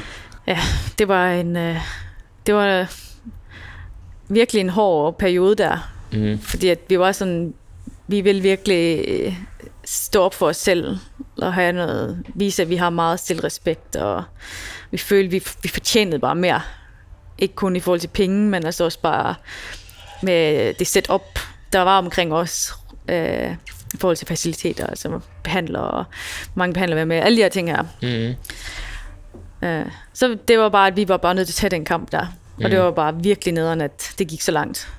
Fordi at vi er jo også der for at, at spille fodbold og for at vinde, øh, vinde titler og være til slutrunder med landsholdet og spille for Danmark. Det er jo det, vi allerhelst vil. Mm. Men desværre så blev vi bare nødt til at tage sådan en kamp der, og det er jo virkelig træls, at vi blev nødt til. Men det er jo lidt det vi- med kvindefodbold, at der er sådan nogle kampe der, vi bliver nødt til at tage for at få, øh, vi ville ønske, at det ikke var nødvendigt, helt sikkert, men lige der var det bare nødvendigt. Og det er også bare, det Hvad er det ændrede for specifikke ting, der er vigtigst for jer? Er Jamen- alt bare lige, eller... Ja, Ja, eller synes hvert du også, det skal være det på klubniveau? nej, altså, landshold er lidt anderledes. Og det, mindst, det som er vigtigst, det er jo det her med, at, øh, at sætte oppet af det samme. Mm. for at vi kan præstere på samme niveau. Mm. Altså, det er jo klart, at har man bare det bedre, har, får man bedre mad, øh, fordi man har sin egen kok med, Mm. Har man kortere rejsetid til nogle udbanekampe, har man alting, så er det bare bedre forudsætning for at præstere godt. I forhold til, hvis man skal sidde et fly i 20 timer til en udbanekamp, som vi skulle på, på daværende tidspunkt, øh, og spise noget dårligt mad i et østeuropæisk land, øh, Mm. på et dårligt hotel. Øh, alle sådan nogle ting der, det gør bare virkelig meget i forhold til ens præstation. Så det er jo de vigtigste ting, at det er bare, at det er top professionelt. Og så er der jo sådan noget som bonus og det ene og det andet, og der er det altid et spørgsmål. Altså, det er sådan, selvfølgelig synes jeg jo, at man skal have lige løn for lige arbejde, men det er jo lidt mere komplekst i fodbold, hvor der er en forskel på popularitet for herre og damer, hvor herrefodbold bare har, øh, ja, øh, har sin egen popularitet et eller andet sted mm. i forhold til Mm. alle andre sport. Øh, så, så der er det sådan lidt, ja, yes, bonus, så kan man måske godt have lige, altså, ja, jeg vil selvfølgelig synes, det var fedt, hvis det helt, var helt lige, Mm. bare for det er virkelig godt signal at sende Klar. fra, øh, fra forbundet af. Men jeg forstår også godt, at, at det ikke er lige til. Mm. Herrerne får flere penge ind, øh, men så kan man også spørge, hvor, hvor, hvor skal man starte hen så? Altså, hvornår kan vi så begynde? Hvad skal der til for, at det ikke er sådan længere? Hvad, mm. det der, hvad kommer først? Øh, høn eller ikke? Eller hvad Ja, man jeg siger? forstår, hvad du mener. Men altså sådan rent landsholdsmæssigt, øhm, forstår jeg godt, der er en en samtale, og klubmæssigt, Ja, er, klubmæssigt der, er der er der en en anden samtale. Ja. Men kan du også forstå, at der er nogen, der for eksempel øhm, siger sådan, om en udbud efterspørgsel? Mm. At man kigger på det. Mm. Jo, det er jo, den, det, er jo den, det argument, alle som er imod lige løn Ja. kommer med, fordi det er det letteste at sige. Præcis, ja, ja. Jamen, det er ikke fordi, min holdning, det, det er lige meget, hvad min Ja, holdning er. Jeg ved godt, hvad min holdning men det Ja. handler om, om, om dig. Præcis. Øh, men igen, så er det bare, jamen hvis man har den indstilling til det, hvor- hvordan får vi så ændret det? Ja, Der skal jo, øh, der er ikke, der skal en investering til, for at der er noget som, for at der er et produkt, der skal blive bedre. mm. Og for at kvindefodbolden kan få en endnu højere, et endnu højere niveau, at der er endnu flere klubber, der har et højt niveau, så bliver der bare nødt til at komme en investering. Mm. Fordi så skal der nok komme flere penge ind også Præcis. til klubberne. Og, og derfor er det også super vigtigt, det I gjorde med at stand up og sige ligesom, hey, mm. Nu skal der ske noget. ja, Og så koster det selvfølgelig nogle ting her og der. Ja. Men uh, i sidste ende, hvordan har du det med det? Jo, altså jeg har, jeg har godt med, at vi står for os selv. Ja. Uh, jeg synes, det er ærgerligt, for at i forhold til det, vi ville have, så var det, så var det ikke en uh, VM-kval værd. Altså i forhold til, hvad DBU kunne give os, så Ja, ja, ja. Kunne det godt, de kunne godt have givet os det, uden at det skulle gå så langt. Ja. Så det med den, som var så let. Hvorfor skal det overhovedet være? Øh, Nogle gange, der er også nogen, der snakker om, er der andre ting, den der konflikt handlede om? Var det, Mm. noget i forhold til nogle af de mennesker, der var i Spillerforening og DBU, at de bare ikke kunne lide hinanden. Det ved jeg heller ikke, fordi at for mig var det bare mærkeligt, at hvorfor, hvorfor kan vi ikke løse det her? Ja, ja, ja. Så stort et problem er det ikke. Men der er altid meget politik i fodbold, det ja. Ja. ved man jo. Det er meget politik, desværre. Uh, Det er sådan noget der. Sådan en slags politik. Nu snakker om noget andet uh, politik og sådan noget. Um, hvor, hvor vigtigt er det egentlig for dig at bruge din platform og status som et forbillede? Ja, men jeg synes, det er en kæmpe mulighed for at gøre en forskel. Og jeg har jo ingen, min platform er stor, men sammenlignet med nogle herrefodboldspillere, så er den jo ikke lige så stor. Mm. Mm. Så jeg synes bare, at vi fodboldspillere har bare, eller bare atleter generelt, har bare en kæmpe mulighed for at gøre en forskel. Og det gør jeg med glæde i forhold til det, jeg kan. Og, og ja, det er jo ikke, jeg synes ikke, det er ret hårdt at gøre det. Altså, det tager ikke så meget energi. Jeg siger bare min mening omkring nogle ting, og, eller min holdning i forhold til det, og Mm. håber ligesom, at jeg kan hjælpe med at, ja, og, at få ændret nogle ting i samfundet, sådan til det bedre. Jeg synes bare, det... Jeg kan bare ikke nogle gange... Nogle gange kan jeg godt forstå... Jeg har en lille ting, hvor jeg godt forstår, at fodboldspillere, især, især i England, fordi pressen og, og fodboldklubberne beskytter jo spillerne, og så kan man nogle gange finde på at sige, åh, Eriksen han er så kedelig, og når han snakker i interviews og bla bla bla. Men nogle af dem gør det jo også mere for at beskytte sig selv og beskytte mm. du, alt det der. Men i sidste ende, så har det sådan lidt, hvor bliver jeg bare glad, når jeg ser sådan nogen som Højbjerg, og Ja. nogle andre spillere, der bare åbner op af posen og bare siger tingene, som de er. Følelserne ude på tøjet, Ja, ja, du ved, præcis. og bruger deres Det- platforme og gør deres ting for ligesom at være med til at Ja. inspirere. Fordi folk glemmer nogle gange, som du selv siger, du har en stor stemme, så prøv at forestille dig, at du ved, de mandlige fodboldspillere, og det hele det bliver bare pakket ind i alt muligt politik, og hvad siger man, hvad siger man ikke. Ja. Det var også derfor, det var sygt vigtigt for mig, dengang jeg lavede de her programmer med sat af, at komme ind under huden på folk og finde ud af, okay, først og fremmest, vi er alle sammen bare mennesker, ja. før vi er fodboldspillere og atleter og hvad fanden for det nu er. Mm. Og hvorfor kan man ikke, hvorfor skal alt gøres så robotagtigt? ja. Og det er noget af det, jeg kunne mærke og se, for eksempel øhm, ved dig og nogle af de andre kvindelige øh, kollegaer, du har øh, på landsholdet for eksempel, at der, de, de åbner sgu munden. Mm. Altså, der bliver sgu sagt nogle ting, der bliver standet op, og det synes jeg bare, at mange af de mandlige fodboldspillere måske godt kunne lære lidt af. Mm. Øh, hvad hedder det? Og, og ikke tænke for meget af politik og dit og dat, men mere sådan lidt, prøv her, jeg har noget på hjertet. Jeg har. Mm. Fordi prøv at forestille dig, hvis i sportsverdenen, hvis der ikke har været en Muhammad Ali, hvis der ikke har været nogen, altså nogle vilde mm. atleter, som har været ude og snakke om en masse ting, Ja, så havde måske nogle ting ikke set ud, som Præcis. de gør i dag. Præcis. Man har så meget magt. Det er det. Altså, og den og det tror jeg bare positivt. også, at, øh, ja, positivt. ja, ikke negativt. Men jeg tror også bare, at der er mange, der ikke forstår faktisk, hvor meget Ja. magt de har. ja. Og så skal det jo bare også være noget, man gerne vil selv. Så der er jo ikke nogen, der, det skal ikke presses ned over det. Og- For der er jo nogen, de vil bare spille, fod, altså, mm. spil bare spille fodbold, fokusere på det, og det har jeg også meget respekt for. Altså, Det er også tager man tilbage til, til noget, noget af det, der gjorde sådan, at du virkelig kom på kortet, eller hvad man siger. Det var den kamp med Sverige mod Canada. Mm. hvor, at, øh, hvor din kæreste spiller, og du har den svenske landsholdstrøje på. Det er rimelig sygt, når du er fra Danmark. Ja. Men der viser man bare... der var jeg virkelig en god Der kæreste. var du bare støtte fra, Ja. fra hjertet af, ikke? Øhm, der kysser I, og der bliver taget et billede. Ja. Jeg ved godt, du har snakket mange gange om det her og sådan noget. Mm. Men øh, det er jo medfører jo bare til hele verden lige pludselig yeah. bare eksploderer, og der er en masse unge mennesker, mm. mænd og kvinder, whatever, og de er bare sådan lidt over, I ved ikke, hvad I har gjort for mm. mig, og den måde, jeg har det, og min seksualitet, og alle mulige andre ting, du ved, mangfoldighed og sådan noget. Ja. Øhm, hvad hedder det?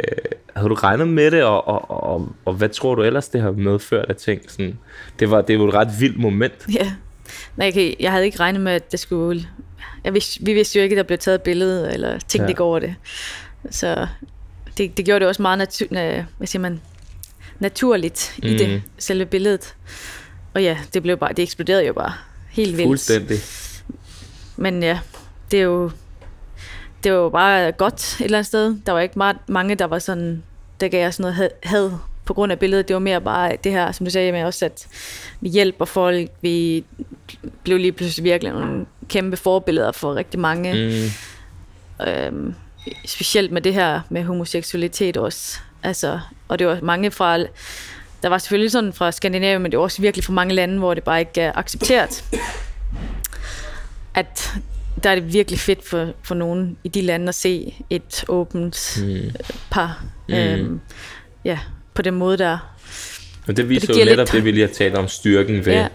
at Ja, når man er en atlet eller et eller andet, at man, Men det er også det med, at jeg er, meget, øh, jeg er måske meget privilegeret i det, fordi jeg er fra Skandinavien, og det er okay at være øh, sammen med samme køn. Øh, det kan godt være, at der er nogen, der stadigvæk synes, det er sådan lidt specielt, men det er sådan størstedels virkelig accepteret sam- sammenlignet med mange andre steder. Så på den måde er jeg meget privilegeret, og ved at jeg så snakker om det og er åben omkring det, så hjælper jeg nogen, hvor det, de ikke er privilegeret med det, hvor de ikke kan få lov til at være dem selv og, og være øh, homoseksuel eller være, ja, på den måde der er. mm, Og det giver bare håb for dem, og det kan muligvis, i, og med at jeg går ud øh, åben med det og snakker omkring det, så kan det jo være, at det kommer til at ændre noget for dem. mm, Sådan synes jeg altid, det er, når der er nogle sådan problemer i samfundet, altså hvis vi snakker ligestilling. Hvis der skal have den største effekt, så er det jo, at mænd går ud og kæmper for ligestilling, mm. fordi de er privilegerede. mm, Når vi snakker om racisme, så er det jo også hvide, som skal gå ud og virkelig støtte og hjælpe, fordi at, ja, så, så tror jeg, at der kommer den største effekt på det. Det er meget dybt sagt. Ja. Og, og derfor at, at noget af det fedeste ved at, at have mødt dig der snak i dag, det er den impact, du har haft på mange af de her ting, fordi mm. at den impact har været større end noget, jeg har set i mandlig Ja. sport. Altså forstår du, hvad jeg mener? Mm. Øh, og det, det synes jeg bare, at der skal blive talt mere om på en eller anden Ja, måde. ja det synes jeg også. Skal man. Stand up. Ja, Hvad hedder det? Det her langdistanceforhold, som du har haft, ikke? ja. Er der overhovedet nogle positive ting ved det? Mange. Fik, oh. lidt, fik lidt alene tid. Og... Okay, nej, mig, lad mig høre. Nej, der var, der, det positive er, vil sige, selve tiden, hvor vi var fra hinanden, var måske sådan, det var ikke sådan mega positivt eller fedt. Øh, Det var øh, klart. Men en, øh, altså det positive er lidt, at, at vi også lidt det der med, at vi gik hver vores vej for ligesom at nå målet, og det er også derfor, vi er, er sammen, fordi Magda, hun er lidt som mig i forhold til det. Mm. Hun, vil gå, hende, hun har også et mål, som hun vil gå alt for, og hende, for at hun skulle komme derhen, så var det bare en anden vej end min på det tidspunkt. Mm. Uh, så det vi begge to gjorde det, det synes jeg bare hjalp meget for vores forhold også. Hvis Mm. en af os havde opgivet vores strøm, Eller trukket den anden eller med tror den anden eller, med, eller, det har eller. bare ikke været godt. Ja. Og så at vi kunne gå igennem det tre et halvt år fra hinanden, mm. og nu er sammen og har et virkelig godt, det er jo også virkelig et symbol på, at vi er stærke sammen. Øh, og så har vi jo fået lidt, vi har bare en periode i vores liv, hvor det ikke er bare os to sammen. Altså det med, at jeg har fået en rigtig god vennekreds fra Wolfsburg af, som ligesom er mit, og hun har noget, som er hendes. Mm. Mm. Det er jo også vigtigt at have mm. det. Føler du så, at kvalitetstiden, da I var sammen, da I havde langdistanceforhold, var bedre, end når man er sammen hele tiden? Øh, nogle gange måske sådan, Ja. men det var så kort tid, at vi kunne ses nogle gange, så mm. det blev nærmest lidt stressende. Øhm, så jeg, jeg, jeg foretrækker helt klart sådan, som det er nu. Klar. Øh, men i det lange perspektiv, så tror jeg bare, at det var virkelig godt for os mm. at være væk fra hinanden. Ja, nogle gange går man jo også igennem alle mulige ting, fordi at for det better på en eller anden måde. Mm. Man går igennem en kamp for at stå stærkere på den anden side. Præcis. Vi snakkede lidt om det før, med det her med, med seksualitet og sådan noget i, i sport og whatever. Hvorfor tror du, der er så, så, så få homoseksuelle mænd, lad os bare tage fodbold, for det er det, vi mm. snakker meget om, som jeg er næsten sikker på, at der er rigtig mange. Ja. Øh, men det er bare ikke udbredt. Nej. Og, og tror du også, udover det, det er et dobbelt spørgsmål, tror du også, at folk har taget imod det på samme måde, hvis det var to mænd, der kyssede den dag? Ej, jeg tror ikke, det vil være lige så meget positivt i forhold Nå, hvorfor? til... Jeg tror bare sådan, kulturen omkring herrefodbold, fankulturen omkring herrefodbold, er meget anderledes, end hvad den er omkring kvindefodbold. Der er mange sådan nogle macho mennesker, der er fodboldfans på herresiden. Øhm, ja, og som har lidt det her menneskesyn, sådan lidt old school menneskesyn, synes jeg. Der er bare den del af fankulturen i herrefodbold, der har den, og jeg ved ikke, hvordan de vil reagere på, at nogle af deres spillere skulle blive øh, gå ud og være homoseksuelle. Altså, så skulle de lige pludselig blive set som øh, svage, de skulle blive set som nogle, det ved jeg ikke, ikke så stærke, du ved, øh, ja, alle de her fordomme, som der overhovedet kan være, vil de blive set på fra den her fangruppe her. Så jeg tror, der vil være meget mere sådan noget, i forhold til, hvad vi også, der er det virkelig bare fantastiske fans. Ja, Meget familie, og virkelig bare, altså, slet ikke sådan en øh, mentalitet, der er old school mentalitet. Mm. Og det er det jo bare i herrefodbold. Der er også rigtig mange gode fans i herrefodbold, men der er virkelig også mange sådan nogle lidt mere hooligansagtige. Og så tror jeg bare, at det der med, at der ikke har været en endnu, så den første, som gør det, vil bare få virkelig meget opmærksomhed. Og det kan godt være, at man ikke har lyst til det. At få al den opmærksomhed Mm. for det. Og så er de nok bange for også at blive stemplet som den homoseksuelle fodboldspiller, i stedet for bare at være fodboldspilleren, mm. som bare er til, sammen med en fyr. Så det, jeg tror, det er alt det, som gør, at der ikke er kommet det endnu ud endnu. Tror jeg. Fodbold, fodbold herrefodbold er så stort. Kæmpe Så- stor. Ja, Det er en af de største industrier. så hvis der skulle være nogen, så tror jeg, der er nogen, de skulle ud som sådan sammen. en stor gruppe gå ud sammen. altid Fordel, fordel så- opmærksomheden på en masse. Fordi at ja, den ene, der gør det, vil få så meget opmærksomhed. Altså, ja.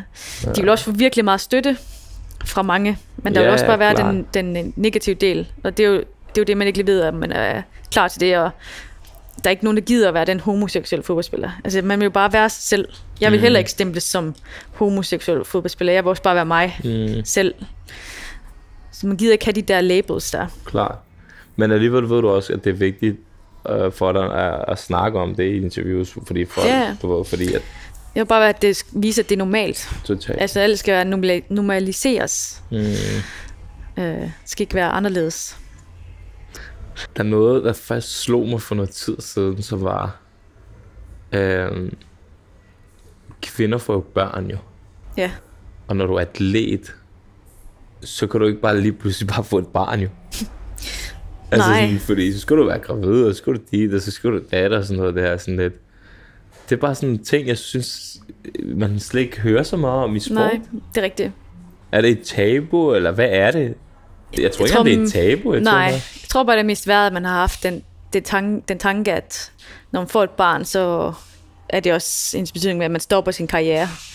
okay. Øh, man har ikke set, vi har ikke set så mange, som ligesom har fået et barn, så kom tilbage, men ja. faktisk seneste år er der kommet flere og flere, som har fået et barn, og så kom tilbage, og jeg har tre hold, gamle holdkammerater, som er gravide lige nu, ja. som er på min alder, og som har planer om at komme tilbage og Okay. spille igen, så Hvor lang tid er de så ude? i hvert fald ni måneder. Ja, Nej. mi- Det- minimum. Ej, man kan jo spille lidt i starten, tænker jeg. Og så efter graviditeten, så, hen, så kommer det nok an på kroppen. Altså, ja. det er jo forskelligt, hvordan kroppen reagerer på at blive gravid. Men Selvfølgelig. nu er der en her, hun jeg tror hun fødte sådan i november, og så var hun tilbage i sommer eller sådan noget. Okay. Så, Hun er topflyvende igen. ja, ja.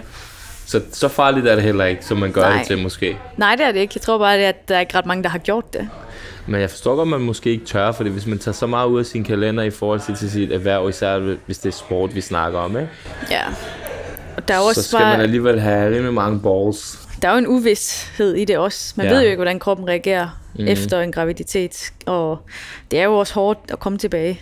Så altså sådan personligt, så er det også sådan lidt... Jeg ved ikke rigtigt, hvor, hvad jeg vil gøre. Om jeg vil blive gravid og så komme tilbage, eller, at jeg, eller jeg bare venter. Du er en af de få, der er god nok til det. ja, men øh, ja, ved jo ikke, hvordan kroppen nej, nej, reagerer på klart. det. Men er det egentlig sådan... Øh, er det noget, I tænker på egentlig? Og blive gravid? Ja, Ja, jo, altså... På et eller andet tidspunkt vil man det jo gerne, men ja. Det er jo ikke alle, der... Altså, du ved, nej, det nogen, er jo... Øh, Ja, der er det jo lettere at være herrefodboldspiller og bare få konen til at... ja, ja. Altså, så er man ikke ude. Og det er jo noget med, at vi øh, skal tænke ekstra meget over, ligesom sådan. Er det værd at, er det værd det at være ude i halvandet år for få et barn og Ja, og så bagefter er det jo også bare, det er jo ikke bare lige graviditeten, som er det svære, det er jo også bagefter, og så har man et lille barn, som man skal ja, ja. tage vare på. Jeg har, det ville være dejligt at kunne spille i lang tid. Altså jeg vil jo, og hvis jeg skulle spille indtil jeg er 38, så er det også ret sent at få et barn derefter. ja. Så det kan da godt være, hvis man kan time det ind til, når der ikke er slutrunder og sådan noget. Hmm. Der lige er et år der, hvor... Ja, En god timing. ja. Hvad hedder det? Vi har snakket noget omkring det, men ikke sådan 100% ind til benet omkring det. Øhm, Hvad tænker du egentlig selv, der skal til, for at øh, kvindefodbolden kan eksplodere endnu mere? Øhm, jamen, altså det er jo fortsat med investeringer. De her Så penge penge, det er jo altid godt. makes the world go around, ikke? Og så, jamen, jeg synes, der bliver taget fl- altså flere og flere initiativer i forhold til det. Synes du, det Og- bliver prioriteret højt nok af, af DBU og medier og klubber og sådan noget? Altså jeg tænker sådan mere generelt nu, i Ja. forhold til for eksempel her i England, nu har Sky første gang købt tv-rettighederne, Rettigheder hvor der faktisk er ikke? kommet rigtig mange penge i det. Ja, Øh, og det er jo de ting, der, der skal gøres. Altså TV, tv-penge. tv-penge er det, rigtig vigtigt. Det er rigtig vigtigt, og for at tv gider at købe ligaen, så skal ligaen jo også være god. Mm-hmm. Det er jo det, i den her engelske liga nu er der jo virkelig mange stjerner, som spiller her, og derfor Ja. synes de, det er mega fedt at, at købe rettighederne. Så det handler jo også noget om, man skal også skabe, skabe stjerner. Mm-hmm. Der er rigtig mange gode fodboldspillere øh, rundt omkring, kvindelige fodboldspillere, men det handler også om branding. Og brandstjernerne, sådan, ja, så det bliver interessant for tv at købe, købe Klart, rettighederne. klart. Og ja, klubber, der investerer i dameholdene, får skabt hold, der har fuldtidskontrakter, og Mm. det er jo de ting, der skal til. Helt klart. Og det er Så, jo, ja, penge, Og noget storytelling også. storytelling. Og, ja, noget god promo, ikke? Ja. Det er, det er mange, alligevel mange parametre, der ligesom skal i gang med at, ligesom at ruskes lidt i, ikke? Mm, Øh, hvis du er jo en kæmpe ambassadør for kvindefodbold, ikke? ja. Hvordan vil du overtale mig til at sidde og se det? Hvad er din salgstale? Nu putter jeg dig totalt ja, on, og jeg er virkelig god sælger også. on blast. Nej, men altså, det handler om at se kvindefodbolden for det, det er. Man skal ikke sammenligne det med herrefodbolden, med Okay. tempoet og det her. Altså, det handler stadigvæk om at vinde, Mm. og det handler om at score mål, øh, og det handler om at spille godt øh, takt, det taktiske og mm. det tekniske. Så hvis man ser det med de briller på, i stedet for hver gang man ser en kvindekamp, at sige, skal sammenligne det mm. hele tiden med herrefodbold. Ah, men den pasning er ikke lige så hård som i en herrefodbold, eller Jamen, øh, det der hjørnespark, det var heller ikke lige så godt som eller frispark, eller... Mm. Altså, man, hvis man ser på kvindefodbold uden at skulle sammenligne det med herrefodbold, så er jeg sikker på, at man synes, det er mega fedt. Jamen, jeg sidder og prøver at tænke lidt over, imens du siger det, hvad det er, der har gjort sådan, at jeg nogle gange har siddet der og hellere vil se det der.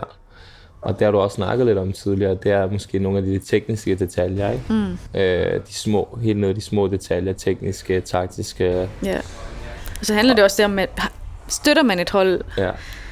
Altså, så er det også bare federe at se en kamp, altså når man har et hold, man hæpper på, Ja, eller ja. man har nogle... Vi er enige om, at Atletico Madrids kvindehold, er- jeg er Atletico Madrid-fan. Ja, De er rimelig hæftige, er det ikke det? ja det er okay. Er det ikke? Jo. Synes jeg, jeg har set lidt Ja. om. Men det, han, ja, det handler om, og det er også derfor, det handler om at få profili, altså få lavet nogle profiler, mm. få lavet nogle stjerner, som man sådan ja, hæpper på. Så Ja, ja, ja. kommer man også bare til at være mere engageret i kampen. Præcis, men for at kunne skabe de stjerner, så skal man også tilbage til det, vi talte om tidligere, det her med, at der skal være nogle personligheder. Mm. At det ikke bare er robotter, der spiller fodbold, men Ja. at der er faktisk nogle, med nogle meninger, nogle holdninger, nogle måder at opføre sig på på en bane, nogle frisyrer, nogle stile, mm. noget, du ved, a- Ja. altså hele vejen rundt. Ja. Øhm, ja, de ting vil helt sikkert også hjælpe, men altså, hvis man bare ser på spillet, så tror jeg bare, det handler bare om, at man ikke skal sammenligne dem her fodbold. mm. Øhm, for det, det synes jeg bare, der er mange, der sådan... Altså hvis man skal gå... Hvis der er nogen, man skal få til at se kvindefodbold, så har de sikkert set herrefodbold, og så går de, altid, så går de ofte ind med den indstilling og skal mm. sammenligne det, i stedet for bare at, at se på selve spillet. Klart. Så du inviterer mig snart over til at se en kamp, Ja, ja, det, selvfølgelig. så får du den Kan du komme på Kings Meadow? det- Og det er også sådan en her ting, hvor man siger sådan lidt, det der vi snakker om tidligere med, at okay, så hvad så, er jeg bare en idiot, fordi jeg ikke ser kvindefodbold? Altså, Nej. kan vi så godt være venner? Nej, men forstår du, hvad jeg mener? Ja. lidt, jeg er bare ærlig omkring det. det. Jeg, jeg, jeg har ikke, det kan godt være, at jeg begynder at se det på tidspunkt, men det gør jeg ikke rigtigt. Nej. Så har jeg set nogle gange, hvis der var slutrunder, så har det været ret interessant. Ja. Så er det sådan, okay, lad os lige se, Men det er jo fordi, det så spiller vi for Danmark, og du Ja, hæpper for, på Danmark, og du præcis. godt, at det går godt for Danmark. Så Ja, det er den der præcis, delen i det. præcis. Så synes Men jeg, det det er er fedt også en god start at pushe det på den måde, og gøre det igennem det, og så øh, jeg er her i dag, fordi at jeg gerne vil høre din rejse, og, mm. og så være også, er her i dag også for at pushe kvindefodbold. For jeg vil gerne have, at mange af de mennesker, der lytter til min podcast, og dem, som kender dig, lytter mm. til det her afsnit og tænker, okay, nu kan vi alle sammen prøve at gøre vores for ligesom at pushe det, fordi der skal være equal rights. Helt sikkert. Um, 100 procent. hvad hedder det, lad mig se her. Så var der faktisk, øh, vidste du godt, der var kommet en fanklub for kvindelandsholdet? En fanklub? Ja, Nej. Det, er kun, mænd, det er kun mændenes, der har, nu er der kommet en, øh, Nå. for, og der er vist allerede, den er næsten lige blevet lavet, nu er der kommet 300 medlemmer allerede. Nå, hvorhen er det? Men det var en øh, pige, jeg kender, som faktisk øh, gør rigtig meget for hele det der community, og, og hun er også øh, verdensmester, tror jeg, i bordfodbold. Nå, Øh, jeg ved, at på Twitter er hun meget aktiv omkring kvindefodbold og hele det der LGBT-community og alt det der. Og så spurgte jeg hende bare sådan, hey, har du nogle spørgsmål, som du, jeg måske skulle stille øh, til Pernille? Så var hun sådan, ja, 100 procent og bla bla bla. Og så hun sådan, prøv at sige til en, at der er kommet det her. Hvad Ja. synes du om det? det er da fedt. Ikke? Ja, mega godt initiativ. Det er også sådan noget, der skal hjælpe, der kommer til at hjælpe helt sikkert med Præcis. boost. Og, øh, og så, så havde hun faktisk et spørgsmål, som det var sådan, nu stiller jeg det bare, men jeg synes, det er meget sjovt. Men sådan, hun spørger om, vil, vil kvindefodbold blive federe og mere publikumsvenlig, hvis målene og banens størrelse blev lavet om? Øh, nej, det Nej. tror jeg ikke. Ikke nu. Det er for sent. Så skulle jeg have gjort det helt fra starten af. Ja. Eller har du nogle andre idéer selv til noget, hvor du har tænkt sådan lidt, okay, eller skal det bare være, som det er? Jeg tror bare, det skal være, som det er. Jeg tror ikke, det er det, der er problemet. Jeg tror bare, altså... Kvindefodbold er jo heller ikke lige så gammel som herrefodbold, hvis man skal lave den sammenligning. ja, altså i så, forhold til, ja, så det skal også have så tid det kommer til at, jo. Altså, det skal have tid, og ja. bare den udvikling, der har været nu de seneste år, der kommer udviklingen de næste 5-10 år til at være endnu vildere. Klart, så så det skal også virkelig bare- meget de sidste par år i hvert Ja, fald. så det Især skal- medierne og sådan noget. Altså virkelig Præcis. tager det til Så det skal bare, skal bare have tid, og endnu mere mediedækning, endnu mere folk, der snakker ja. om det, og sådan, så skal det nok blive interessant for flere mennesker at se os. 100 procent. Sjov, jeg tror, det er, er det ikke FIFA-spillet, hvor de også har begyndt nu, at man kan spille med Ja, kvindelige spillere? ja. Det er jo sådan nogle små ting, men det er alligevel, Ja, ja, helt sikkert. det er alligevel store ting. Det, mm. det er jo en stor ting, når man tænker over, at det ikke har været der før. Mm. Vi er alligevel i skal, 2021, Danmark skal også bare lige med ind i det. 21, ikke? Ja. Hvad hedder det? Jamen, øh, ellers, hvad sker der ellers lige for tiden, og hvad skal der ske i fremtiden? Jamen lige nu er- sker der ikke så meget. Nej, Jeg er her i Chelsea, og det er i London, og ja, falder du godt til? mm, meget. Nu begynder vi snart at spille Champions League gruppespil. Det er Mm. faktisk ja, Champions League gruppespil for første gang nu. Ja. Så, øhm, og ja, Og den samme sang, de bruger, ikke? nej, det er det faktisk ikke, desværre. Det synes jeg er træls. De bruger ikke de job, Nej, Det gør de ikke. Det, Det er ikke det, og det har ikke det den samme følelse med den anden. Den, skal vi altså lige lave om på. Ja, det synes jeg faktisk også. Ikke? Okay, så Champions League mm. lidt at være. Ja. Falder du godt til? Går godt med landsholdet, og så Falder du godt? Hvad med fremtidsmæssigt? jamen, nu er jeg jo her de næste to år, Ja. og derefter så tænker jeg da nok, at jeg skal prøve en ny liga i Europa måske. Lidt, måske lidt syd. ned i Lige varmen. beholde tanden, ikke? ja, ned i varmen. Ja, du er og, sikkert sådan, en, der kan blive syg brun. ja, Ja, det kan jeg godt se på din pigment. Det er den er god, heldigvis. stadigvæk.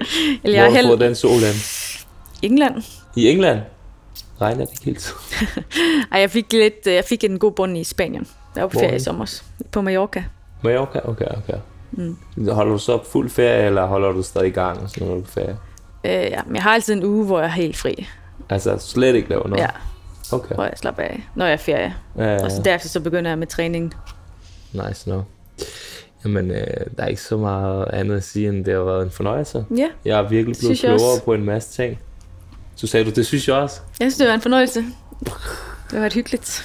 Jeg synes virkelig, jeg blevet klogere på en masse ting, og jeg tror også og håber også, at dem, der kommer til at lytte til det også, du ved, kommer til at engagere sig mere i det hele. Og Ja. også din karriere, men også bare kvindefodbolden, og også bare generelt fodbolden for, hvad den er. Og det er jo en sport, vi alle sammen kan lide. Ja, Og vi alle sammen, øh, eller ikke alle sammen, men mange mennesker har haft meget tæt på livet med til at ændre en masse ting. Og, mm. Så øh, jeg vil Ja. bare sige tak for tiden, og selv det er interessant at flyve, sådan, du om morgenen komme herover og lave, og så flyve hjem Ja. samme dag, og jeg føler bare priv- privilegeret og glad for, at vi fik lov til at lave det. Jamen altså, det har været en fornøjelse. Også for mig, Ja. virkelig. Det har været hyggeligt at, at snakke. Og, så. 100%. Det kan være, at vi ses lige pludselig. Ja, Og det kan jo være, at jeg inviterer dig til kamp. Det må du meget gerne. Det vil komme til næste Det kvindekamp. kan jo være, at jeg lige øh, pludselig bliver totalt bit af det, sådan så jeg begynder at, at være totally ambassador. Nu kender jeg jo en, der er kæmpestor øh, grund til, at der er rigtig mange syge ting, der sker på kvinde. Øh, Kender du Katja Moskov? Ja, ja. Ja. Det gør jeg. Okay, så øh, jeg skulle hilse fra hende. Nå, nu helt Hende igen. snakker jeg ret meget med. Okay. Og hun har været rigtig god til ligesom at fortælle mig. Hun har også blevet, blevet, blevet fået en rigtig stor stilling inden for, for jeg tror, kvindeforeningen for fodbold. Mm. Et eller andet i den stil. Hun har i hvert fald gjort virkelig meget for hele den der verden. Og sådan Ja. noget. Så, øh, så det kan jo være, at jeg lige pludselig øh, bliver en mand, som øh, skal ud, som du siger. Ja, ja. Det er mændene, der skal gøre for kvinderne, og det er de ved, der skal gøre for, for Den der quote der, den var sindssyg. Ja, det skal med. den, den, den, er- den, skal, den skal være teaseren, tænker jeg. Ikke? Er det ikke det? Jo, det kan det gå. 100%. Og ja, til alle, der har lyttet med. Øh, som sagt, en ny sæson af Rejsen er i gang, og vi bliver bare ved med at komme med vildere og vildere interviews og med til at inspirere en masse mennesker. Så hvis du stadig lytter med nu efter så lang tid, som jeg plejer at sige, så er du en af dem, som øh, stadig lever i nuet og vil udvikle dig selv og ved, at storytelling kan gøre en masse, i stedet for bare at ligge og scrolle op og ned af sin telefon. Så lidt mere dybde, lidt mere længere interviews, og tak for i dag, du. Det var jysk. Tak for det, du.